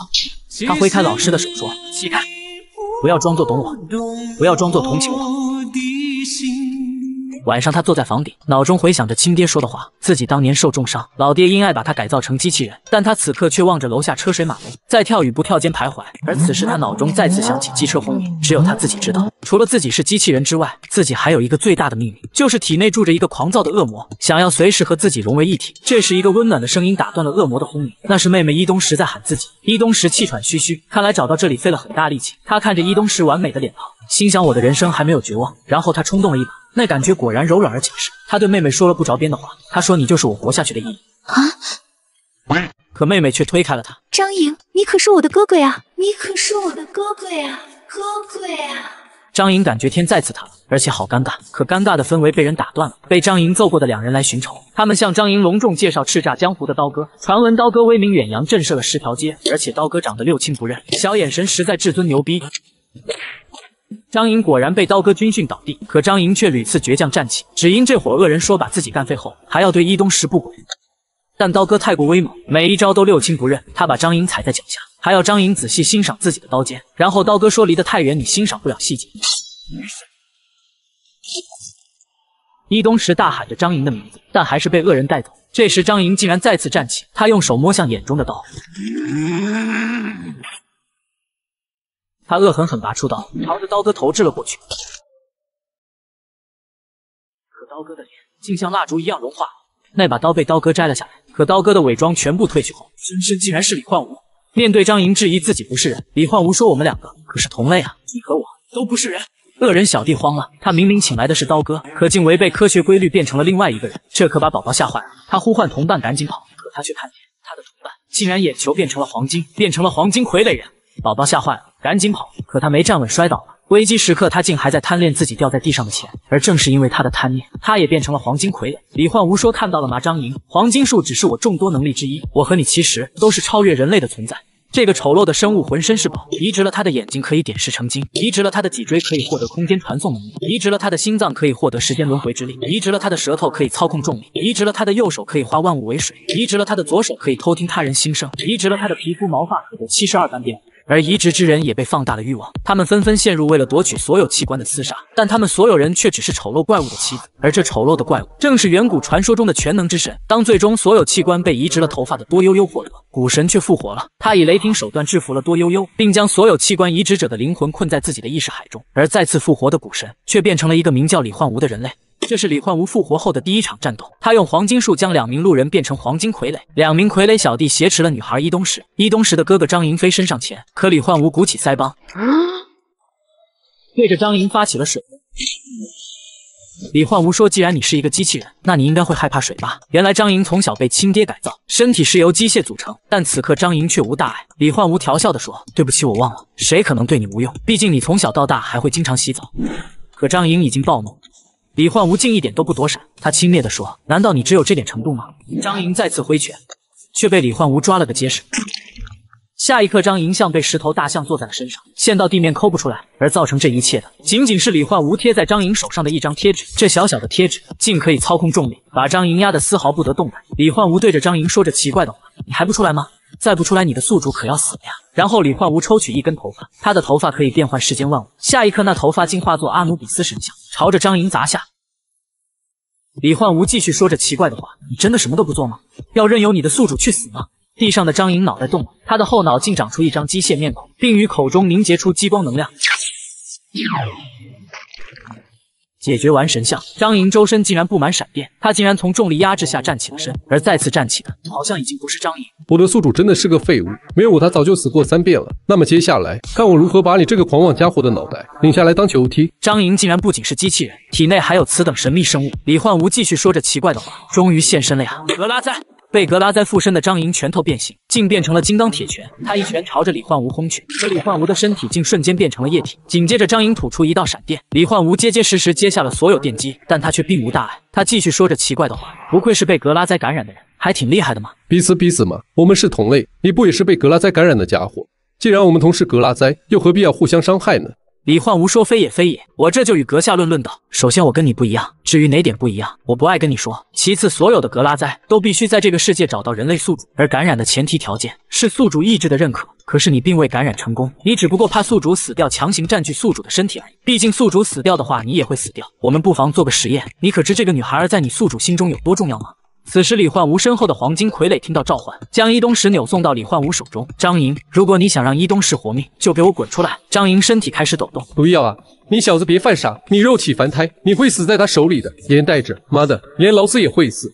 可张莹脑袋转了回来，格拉哉被他压进了体内。看来张莹的意志果然没有完全接受格拉哉。他说：“放开伊东石。”男人当街抢美女，脑袋上还长出三个巨大炮筒。原来这老小子不是人，他是在深海生活十万年的丑陋怪物。五年前他上岸时已经走向生命尽头，但人类却称他为远古全能之神。他骗取人类移植他的七个器官，他每个器官都有一种特殊异能，但最终他引诱七个移植了器官的人类互相厮杀，并用雷霆手段将超人般的七人尽数摧毁。最终七个器官吸取了人类养分回到他的身体，他也终于重新活了过来。他的皮肤毛发可以变换万物，刚刚变出阿努比斯神像，这会儿又变出三个大炮筒，登时炮弹弹出膛。张莹竟憨憨的举臂格挡，可那炮弹却炸出无数细丝挂在张莹身上。放炮的男人李焕无对张莹科普：这些细丝是高科技产品石墨纤维，我将它们称作电力杀手，对付机械体当真是一等一方便。原来张莹也不是人类，她是从小被亲爹改造的机器人。哀嚎声、短路声、电流声，声声不断。张莹被电傻了，冒着浓烟如同痴呆，倒在地上先睡为敬。女孩伊东石看到张莹倒地，挣开束缚，慌忙查看张莹伤势，但她不知张莹受伤这么重，都是因为她。本来张莹体内也有一个厉害角色，占据张莹身体要和李焕吴决一死战，可李焕吴却以伊东石为要挟，如果张莹的意识不重新掌控身体，他就会干掉伊东石。最终张莹回来了，但回来后一招就被李焕吴放倒。可李焕吴对伊东石说：“我这是在保护你。”伊东石说：“放你的拐弯抹角葫芦娃屁！张莹是我的哥哥，你要杀我的哥哥，竟说是在保护我。”李焕无不解释，再次拽出一根头发，这次头发竟变成一个话筒，但话筒底部却是尖刺。女人，走开！他已经全身短路了，只要刺穿他的脑袋，他就可以彻底嗝屁了。但伊东石坚决守护，不得不说这场面有点像女粉丝跪地求歌星赐福。李焕无的两个黄金傀儡很懂事，将伊东石架走。行行马上开始！伊东石使出此生吃过的所有奶的力，喊了一句住手，声波浩荡，振聋发聩。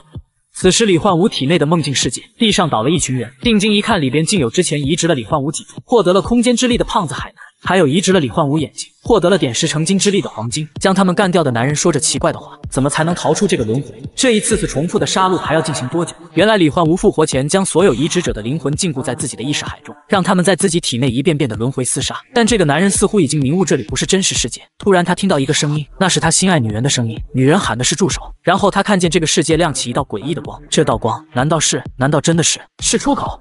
多悠悠朝着出口伸出手，下一刻，现实世界中，多悠悠的手扣住了李焕吴的咽喉。伊东石惊呆了，他他他他从背后生了个孩子吗？多悠悠已经探出半截身子，他说又见面了，混蛋！一号始源体，哎我去，生出来就会说话吗？这人怎么还有点眼熟？男人还没怀孕，却当街生娃，这娃竟还是从背后生出来的。没想到孩子是个天才，刚出爹胎就会说话。他说：“混蛋，看我不干掉你！”三秒钟，孩子就将另一只手也从男人身体里拽了出来，准备使劲扭断男人的脖子。可男人一点都不慌，还在沉着分析。他立刻明白，之所以多悠悠能从自己体内挣脱出来，皆因刚才自己欺负女孩伊东石时，伊东石叫喊声音过大，而多悠悠是伊东石的正牌男友，难免情绪过激，所以闯了出来。但多悠悠一如既往愚蠢。他说：“你知道为什么我能出来吗？”那是因为我们都不甘心被你囚禁在体内啊！他说这句话时，七个人的脸融合在了一起。原来李焕吴当初一口气将七个人的灵魂关在了自己体内。他先是引诱这七人移植自己的器官，他的每一种器官可以赋予移植者一种强大的异能。但最终，这些器官吸取了人类身体的养分，回归李焕吴的身体。李焕吴复活了，而这七人的灵魂却成了囚笼中的困兽。多悠悠发动异能，面部已经变成幻的形态。他说：“此时我干掉你，易如反掌。”可李焕吴嘿嘿一笑，说：“小宝贝，你搞错了。”然后李焕吴身上长出绳索触手，将多悠悠捆得越来越紧。多悠悠此刻才明白自己拖大了。当初李焕武把七个人耍得团团转的回忆再次被他想起，他就这样一点点的，像个被主人拽住的傻狗，慢慢拖进狗窝里。多悠悠说：“你奶奶的！”李焕武说：“小宝贝，这就是你的宿命，你的宿命就是深陷在那无尽的永劫轮回里。”被拽回前最后一刻，多悠悠深情的喊着：“我还会再回来的。”还对伊东石说：“等着我，小石。”伊东石惊呆了：“我擦！李焕武生出的孩子竟然认识我！”而经此怀孕事件，李焕武选择先行撤退，因为多悠悠的出现，让他对事情有了一些别样的期待。而张莹也因此捡回一条残命。张莹他爹看着不能动弹的儿子，一脸愁容。他知道，也只有将二号始源体伊东石的器官移植到自己儿子身上，才能救活儿子。而此时，伊东石躲在房间里，脑中翻江倒海。他不断的回忆着那个熟悉的男人到底是谁。啊啊！他终于想了起来，他是多悠悠，自己的男朋友多悠悠，曾经为了自己能舍掉命的多悠悠，阳光开朗大男孩多悠悠。他什么都记起来了。他记得自己曾经只有在水中才能保持人形，一旦离开水，就会变成一个怪物。而就算是怪物之身，多悠悠也挚爱着自己。可这时有人敲门，打破了他的回忆。来人竟是张莹的爹。只见张莹爹此刻面色阴沉，他一把扣住伊东石。二号始源体，我收养了你这么久，如今是你报恩的时候了。他掏出一个针管，对着伊东石脖梗就要扎去。只有把你的器官移植给张莹，我的儿子才能活下去。而此时却横生变故，伊东石脑袋上一根头发突然开始变形，那根头发在两人面前大变活人，两人惊呆了，差点直呼老铁六六六。下一刻，那道身影飞鹰展翅，一记漂亮回旋踢，把张莹爹踢成了条傻狗。而那头发化成的人形，竟是李焕吴。李焕吴说。从未见过此等变态，竟想对自己的养女下手。此时，李焕吴头顶发出正道光，仿佛是一个活雷锋。爹把女儿勒住，要把女儿安乐死。爹竟然要用女儿的器官救儿子，而爹对儿子也下过黑手。儿子三岁时被爹改造成机器人，但机器人儿子被人干短路，马上就要死。爹又突发奇想，准备用女儿的器官把儿子改造成真人。爹拿麻醉针扎女儿，女儿喊了十遍“雅灭爹”，爹也铁石心肠，手不抖。可女儿头发里却飞出一个人，一记女帝芳香脚把爹踢成猪头。出手之人不是人，曾经是个丑陋的怪物，刚从海中上岸就死了。但他身上当时还活着七个器官，而且每个移植了器官的人类都会获得一种超能力，变成超人。于是他引诱七个人移植了这些器官，最终他又把七个人全部干掉。器官吸收了人类的养分回归体内，然后他活了过来，而七个人都被他封印在自己的意识海。然后他将女孩骗到一个实验室，但走到里边，女孩伊东石惊呆了，他竟看到两个一模一样的李焕武。李焕武说：“别惊讶，带你来的这个李焕武是我之前在你头发里埋下我的头发变成的。”然后他收回头发，说：“可爱的女人，我这是在保护你。”可伊东石只关心自己正牌男友多悠悠在哪里。李焕武指指脑袋，说：“你的男人在这里，他在我身体里，更准确的说是在我的意识海里。”然后李焕武不顾伊东石的惊讶，开始给他科普这个世界最隐秘的秘密。这个世界有一种叫格拉灾的生物，他们力量强大，但有无休止的欲望。他们无法以实体存在于世只得蛊惑人类成为他们的宿主。刚好人类这种生物也是贪婪的一批，于是有些宿主经不住格拉灾的诱惑，就被格拉灾感染，变成了被格拉灾控制意识的躯壳。而我李焕武就是格拉灾，而你伊东史就是我的宿主。当时我在黑暗中发现你，准备感染你的时候，却意外发现你能看到我。难道人类无法看到格拉灾？没错，宿主只能听到格拉灾的蛊惑声音，但无法看到格拉灾，而每个格拉灾也看不到其他人类，只能看到自己的天命宿主。后来的事你都知道了，因为感染失败，从此你只要离开水就会变成怪物，而我肉身几乎毁灭，陷入沉睡。但我沉睡前还是把变成了怪物的你抱上来，为了复活我，蛊惑那七个人移植我的器官，最终你的男友多悠悠干掉其余六人，获得全部器官。所以我现在用的这副身体就是多悠悠的，而他们所有人都陷入我体内的轮回里，永远无法出来。换句话说，现在我就是他们所有人，他们也都是我。虽然多悠悠也是我，但你可不要轻易爱上我哟。我爱上你个大头鬼！你竟然为了让自己复活，牺牲了七条人命！喂，女人，你恐怕搞错了。多悠悠在移植我皮肤毛发前遭遇爆炸，只剩下半个小时生命，包括其他所有人在移植我的器官前都没几天可活的了。是我仁慈的延长了他们的生命，我就是他们的再造之神。说到底，我还是善良的。我利用眼兽的能力把他们的意识都保留了下来，所以他们也不能算真的死了。我看到了多悠悠意识里你们俩的爱情，本神真的是好感动，好感动呀。可伊东石严肃起来，你到底怎么才肯放出多悠悠？那不如我们来做个交易。只要我成功感染了你，那多悠悠的身体对我就没有用了。一旦感染成功，你的身体和意识都会和我融为一体。换句话说，你和我都将不复存在，变成了一个新的个体，而多悠悠就可以重新掌控他自己的身体。但这样的话，你和多悠悠就永远无法在一起了，因为到时候你身上也会有我的意志。我可不愿搞基哦。如果成功感染，那么现在的你我就等同死亡。你愿意接受这桩死亡交易吗？伊东石竟想都没想，我愿意，那就请你立刻感染我吧。就如多悠悠深爱着伊东石，伊东石也深爱着多悠悠，他一定要多悠悠活下去。可李焕无却一脸懵逼地说：“可是上次感染你没成功，我还没找到原因，所以我现在不知道怎么感染你啊。”就是说你在这避避半天，结果研究了个屁。对的，大概就是这个意思。场面好尴尬，十万只乌鸦飞过。可李焕无突然凑到伊东石脸前，伸手去摸伊东石的脸。虽然我不知道怎么感染你，但会有人给我们引路的。伊东石脸红透了，可他一把甩开李焕武，他是当之无愧贞洁烈女。不要以为我答应了交易，你就可以对我为所欲为。拉倒吧，我的宿主小姐姐，我只是把我头发交给你一根而已。不要自作多情，你回去吧，有我头发的保护，你那个养父奈何不了你的。而且你那个养父在研究所对始源体很有研究，他会帮我们找到成功感染的钥匙的。夜晚，李焕无独自发呆，可多悠悠竟又一次在他体内钻出。多悠悠只钻出一个脑袋，李焕无表示很感动。只要和伊东石有关，多悠悠总能因为对爱人的关心从自己身体里钻出来。多悠悠说：“你这个阴损的混蛋，我不会让你感染小石的。”李焕无却根本不屑搭理他，心念一动，又将多悠悠拽回体内。伊东石再次敲开家里房门，养父一开门惊呆了。我擦，这年头还有再次自投罗网的活菩萨！可此时养父家里来了客人，他们竟都是研究所的人。为首的女人看见伊东时也惊呆了，她说：“这就是二号始源体吗？你不是说他出逃不会再回来了吗？难道二号始源体脑袋里没有智商的吗？”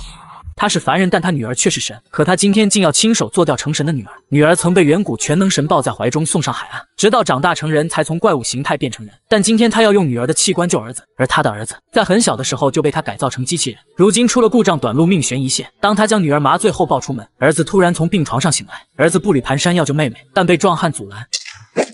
还被壮汉揍翻在地。壮汉说：“你身体垮成这样，就别妄想管他人死活了。”儿子咬牙切齿，只恨自己不是超人之躯。这时，儿子胸前的配饰亮了一下，里边有个阴森的声音说：“你想救他吗？”这个声音曾经无数次出现。当初他身受重伤，被亲爹改造了身体，从此行动不便，只能在足球场坐冷板凳。那个声音总在少年期待或落寞的时候出现，并伴随着机车轰鸣声。想去踢球吗？我可以帮你啊，会让你变得很厉害。可少年心坚如铁，他说不用你帮，等我身体恢复了，比所有人都厉害，而他体内的这只恶魔，也只有少年自己知道他的存在。当他长大上个厕所，却拄着拐被人打翻在地，为首恶徒对他嘿嘿一笑，一声浓烈老汤浇在他的身上，恶魔再次出现。我可以帮你啊，给你一副最完美的身体，你可以把那些混蛋尽情的碾碎。我用不着你同情。而有一天，他回到家，爸爸告诉他，从此有了一个干妹妹。少年只看了一眼，就彻底愣住。那道身影从此住在了少年心中最柔软的地方。他们从此一起上学放学。少年每次偷偷瞄向妹妹，都心砰砰直跳，简直就像一个精致的洋娃娃。如果这个洋娃娃不是妹妹，由于少年从不屈服恶魔，恶魔索性不再跟少年说什么，终日在他脑中响起机车轰鸣。而只要妹妹看到哥哥在痛苦呻吟，总会第一时间跑过来。他焦急的在一边询问情况，可少年却一把甩开妹妹：“别碰我，我是个怪物，你离我远远的。”可妹妹却说：“我明白你的感受，我也失去了记忆，我连自己的父母都不知道在哪。我总在梦中梦见自己是一个怪物，我会陪你一起面对这一切的。”而今妹妹被抢走，他却连站起身都困难。那个声音适时出现，需要我的帮助吗？你再不下决定，你的小洋娃娃可就永远离你而去了哟。不要，我需要你的力量，给我吧，混蛋！霎时间，少年周身浓烟四起，那机车轰鸣声更剧烈了。如你所愿，及时吗，少年？而此时，他的妹妹正在车里，被爸爸和爸爸的同事要带往研究所。就在这时，后视镜里出现一团浓烈的一辆狂野的机车咆哮着、狂笑着追了上来。少年身为凡人，却想踏入超人们的战场，面对恐怖的对手。肉体凡胎的他，让父亲把自己改造成机械体，可即便他已是钢筋铁骨，也被对手虐成残。而今，疯狂的敌人又盯上了少年的妹妹，要将妹妹带往研究所，当成研究材料。于是，少年舍掉尊严，终于同意让体内住着的神秘恶魔和自己合二为一。然后，少年变成了一个狂野的机车，向到奔驰的剑光去营救妹妹。少年先化形为机车，奔驰途中才幻化出身体，押送妹妹的车中，敌人也发发现了骑摩托的少年。壮汉拿出一管神秘药剂，对着自己脖梗来了一发，然后他竟于高速行驶的轿车中打开车门，仅一秒钟，他便变成一个獠牙怪物。须臾间，一个瞬闪，杀到少年面前，只一击就抹去少年半个上身。但他立马觉察到手感不对，刚刚好像打到了空气一般。机车原地急刹，在空中开始变形。原来机车才是少年本体，而车上的少年只不过是幻化出来的虚像。零点零零一秒后，机车变成了一个钢筋怪兽，他发出刺耳狂笑：“老子之名，乃轰鸣使者是也。”那铁拳至刚至猛，轰的对手失聪失明失忆。轰鸣使者站定蓄力，双肘喷射火焰助力。机车马杀鸡雷点般落下，老师傅手法手速惊人。刚刚威猛的敌人，此刻被揍得像烧焦了的蟑螂。轰鸣使者曰：“小卡拉米不堪一击是。”而当他要去营救妹妹，敌人的手却拽住了他脚脖子。那怪物竟长出三颗头颅，三个巨口都阔口獠牙，其中一口喷出灭世火焰。轰鸣使者向孙猴子进了炼丹炉，小子。你金属身躯，来试试会不会被火焰融化掉？我的火焰可是当初上九天，蹲在太上老君厕所中七七四十九天才到来的。可轰鸣使者却从火中走出，居然看起来更精神了。火焰可是机车的能量源泉，它能使我更加热血沸腾。此刻关押妹妹的汽车内，张博士问女人：“刚刚那人变成了巨口怪，难道他也移植了始源体的器官？”女人说不，她是人造始源体，那是白鹿医生的杰作。前不久孔贤林博士失踪后，白鹿医生就接过了研究所核心领导权。孔博士的理念是移植始源体的器官，而白鹿医生却将始源体的能量制作成外用注射器，并用它来激发人类的潜能。被注射的人类不但可以瞬间治愈顽疾，还能拥有意想不到的能力。张博士不解，孔贤林失踪后，一号始源体也失踪了，那这些注射器里的始源体能量是从哪里得到的？女人说，白鹿医生从来就没从一号始源体身上提取过能量，他所有的研究都是从二号始源体身上提取的能量，而二号始源体正是张博士身边昏迷的干女儿。二号始源体是白鹿医生研究之源，所以这次将他带回研究所，也是为了继续研究。至于被你改造成机械体的儿子，也可以用注射能量的方式重获新生。而张博士还不知，他的儿子已经用另一种方式新生，此刻正被三头巨口怪喷了一身的液体，然后周身所有液体凝固，变成了一座艺术冰雕。三头怪很狂，既然火焰对阁下无效，那不知把阁下冻成冰雕，阁下又该如何应对？可冰雕竟开始融化，你可知火焰是我能量之源？你想用冰冻住我，实属滑天下大稽，异想天开是也。带兵全部蒸发，轰鸣使者更狂，你已用了两个头，我且站着不动。你尽管将你最后一头的神通使出来，让我观瞧一下是矣。闻言，三头怪三个头九个大，有点抓狂，但他还是张开最后一口，然后喷出滔天浓烟，那烟将轰鸣使者整个包裹起来。我用烟雾渗入阁下每个零件，吞噬腐朽阁下每个零件，不知阁下当如何应对？可浓烟中，轰鸣使者眼中金光更盛了，那所有的浓烟竟被他一点点吸入体内。你知道我乃机车是矣，还敢对我用烟？你是给我送经验来的吗？接着，轰鸣使者瞬间打开身体，露出周身所有机械气孔。如果把阁下的烟还给阁下，不知阁下该如何应对？三头怪一阵咳，三口同咳，咳出共鸣。可他周身的烟已不是自己喷出的烟，那烟中响起了剧烈的机车轰鸣声，还含有剧烈的尾气之毒。三口怪受不了了，一跃而起。如果我认怂直接逃跑，不知阁下该如何应对？可轰鸣使者一把抓住三头怪，我应对你奶奶的腿，要把你打的亲妈都不认识你是你。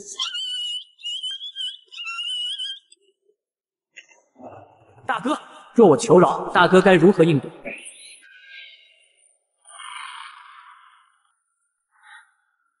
三个头，最终一个头都没剩下。轰鸣使者很纳闷，他怎么那么爱说话？是因为他有三张嘴吗？真乃话痨是。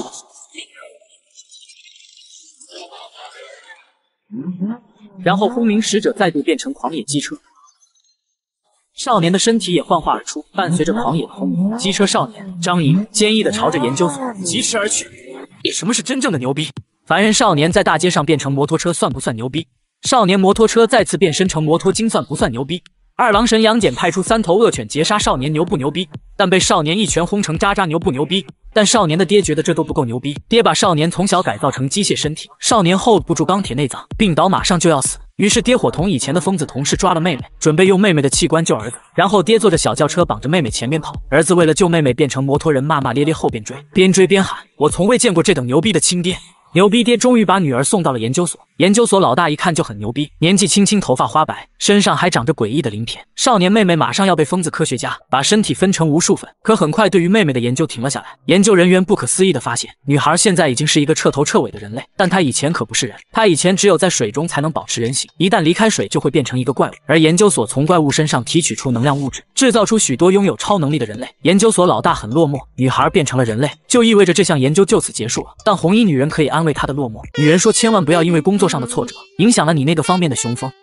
城市夜晚某处，一个白毛帅哥嘿嘿一笑：“你们被我找到了哟。”女孩终于醒了，但她发现自己又被关在了水箱里。这时，盖着水箱的黑布被一道人影掀开，女孩伊东石愣住了，那人竟是自己的爱人多悠悠。可多悠悠不解风情，摇身一变变成了白毛帅哥李焕武。伊东石骂他神经病，捉弄一个水中失足少女。而李焕武从头发中掏出一柄长剑，一刀劈开水箱，将伊东石抱了出来。死变态，放我下来！看老娘甩你一脸水！这时旁边有道黑影走来，来人头顶一片绿，手中拿着一本书。他说：“两位在我们研究所打情骂俏，属实是没有公德心啊。”然后他猛地欺身上前，李焕无潇洒从头发中抽出长剑，但绿毛手中书本张开嘴，那柄长剑竟被书本咬断。绿毛以书本为板砖，强如李焕无竟被一板砖拍飞。然后他翻开书本，似要对李焕无进行审判，可他身后水缸突然炸裂。那水镜化作海王波塞冬，挥着巨大的鱼叉刺向绿毛。李焕武闪到绿毛身后，手中准备好重力贴纸。绿毛顿时被重力压在地上，全身一丝一毫都挣脱不开地面。可地上的书本自动翻页，书页开始旋转，向地狱深渊之口。等它完全成型，李焕无才发现端倪。然后李焕吴的意识一点点的被拉到书本之中，最终李焕吴肉体倒地不起。绿毛拿起书本，介绍说李焕吴的灵魂已经被这本救赎之书吸进去了，这本书就是绿毛的异能，此书可以净化世间一切罪恶。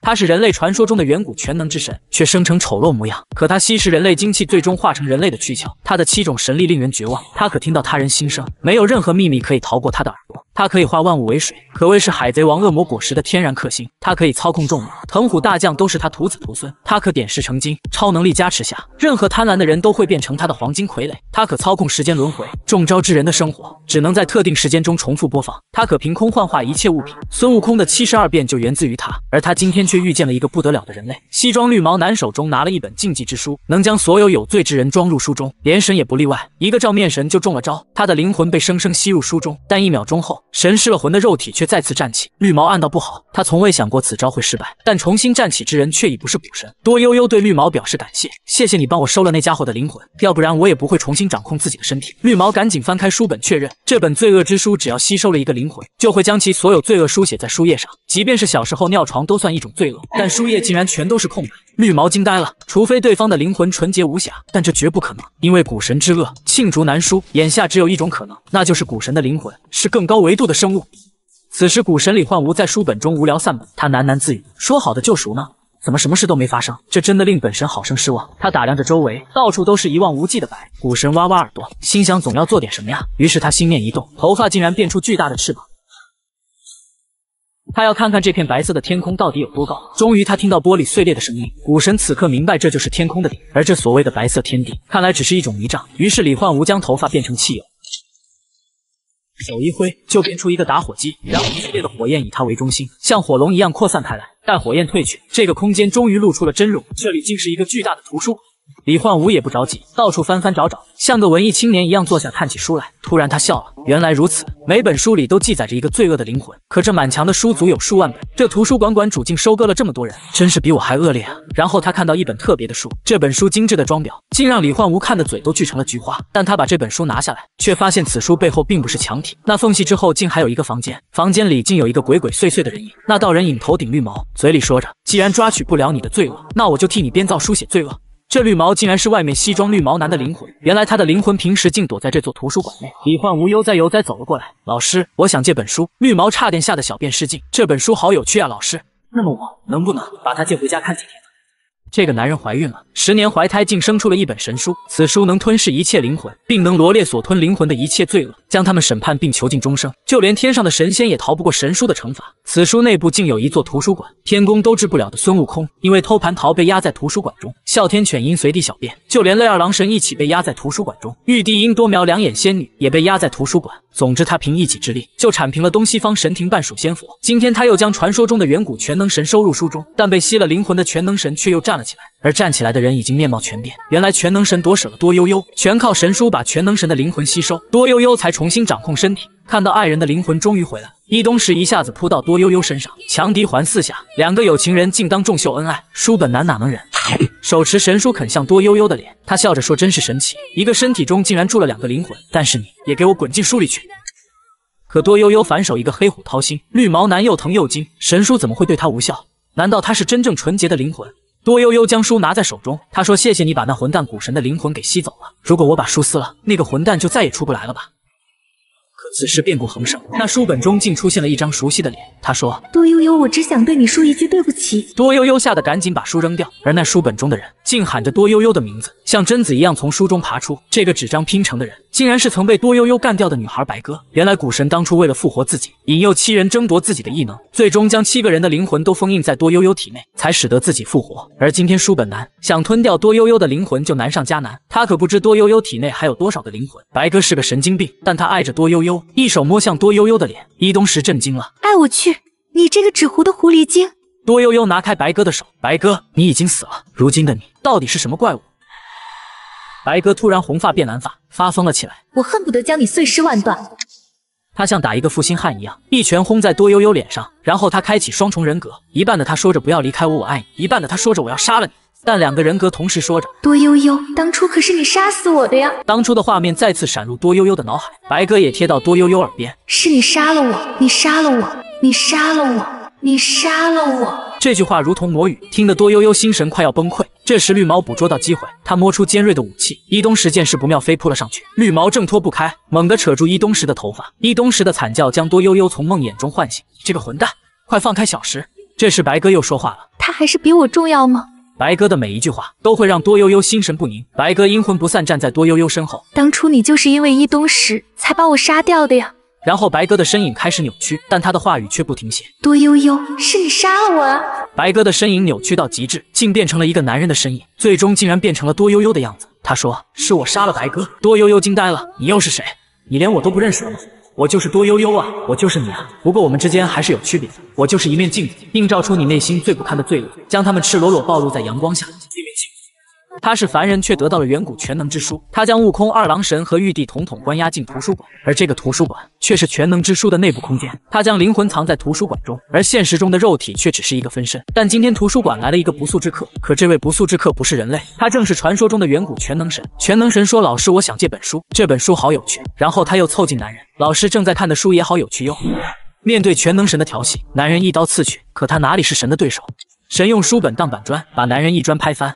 然后将男人踩在脚下。老师，你想活命，就得把你的小秘密告诉我哟。这种屈辱感，男人并不陌生。他的上司白鹿医生从未将他当过人。他工作的地方是一个秘密研究所，研究的主要课题就是把他踩在脚下的远古全能神。不过最初全能神还没复活过来，身体枯竭，丑陋不堪。在这个研究所里，已经不知有多少人因为实验不成功被遗弃了。而他们要做的实验，就是将全能神身上的能量注射到人类体内，以获取全能神的异能。那天白鹿第一次夸奖了他，白鹿说：“你对全能神研究颇深，最适合当实验体了。”于是男人就被绑在了床上，白鹿医生亲自为他注射。他说：“放心，你将获得强大的力量，但前提是你要活下来。”白鹿语气冰冷的向深渊传音，那根针管无情插入男人的手。幸运的是，男人活了下来，而且获得了神书异能。但他将自己得到异能的事隐瞒了下来。他暗自发誓，有朝一日定要让白鹿也尝尝被人踩在脚下的滋味。可今天他又被人踩在脚下。男人怎么能忍？书能忍，绿色的秀发也不能忍。然后男人七窍开始冒出白色蒸汽，他的面部和身体开始变形。神看着男人的变化惊呆了。我擦，你这个样子有点帅哦。男人竟将图书馆内每一本书里的灵魂都聚合在自己身上，模样简直是新鲜出炉的撒旦。这个山寨撒旦身上每一本书都是一个灵魂，数百本书化作巨口朝着神咬去，但正面的巨口只是虚火。神的小腿被身后的书本偷袭成功，然后神被举在半空。神坤李坤气的说：“你干嘛？你干嘛？”伦家恐高高，全能神其实并不慌，他手中幻化出一个火机，一团火焰朝着山寨撒旦喷去。阁下乃书本合体，不知我用火攻，阁下该如何应对？可山寨撒旦笑。然后他周身书本化作蓝色魂火，书本只是载体，我的本体可是无数个魂体，怎么会怕你区区凡火？男人本体对着神吹牛逼，现实世界中的分身却把女孩伊东石挟持了。多悠悠一点都不惯着他，一刀刺出，伊东石吓得差点蛋碎，好在他没有，所以不用嘴。那柄剑避开伊东石，直接把男人捅了个透心凉。多悠悠男友力爆棚，对着死掉的男人吐槽：“离开那本书，你也只是个拿女人当挡箭牌的渣男。”走，宝贝，我们走。这手手撕渣男简直妙啊，宝贝。可他们身在研究所，到处都是敌人，但多悠悠还是机智的，他用变换异能变成了绿毛男的模样，一路畅通。突然，一个女人喊住了多悠悠，她是绿毛男的同事，竟跟多悠悠唠起了家常。可突然，女人冷不丁对多悠悠使出一记高抬腿，女人笑了，她说：“你身手还不错嘛。”多悠悠，多悠悠愣住了，她的伪装竟然被识破了。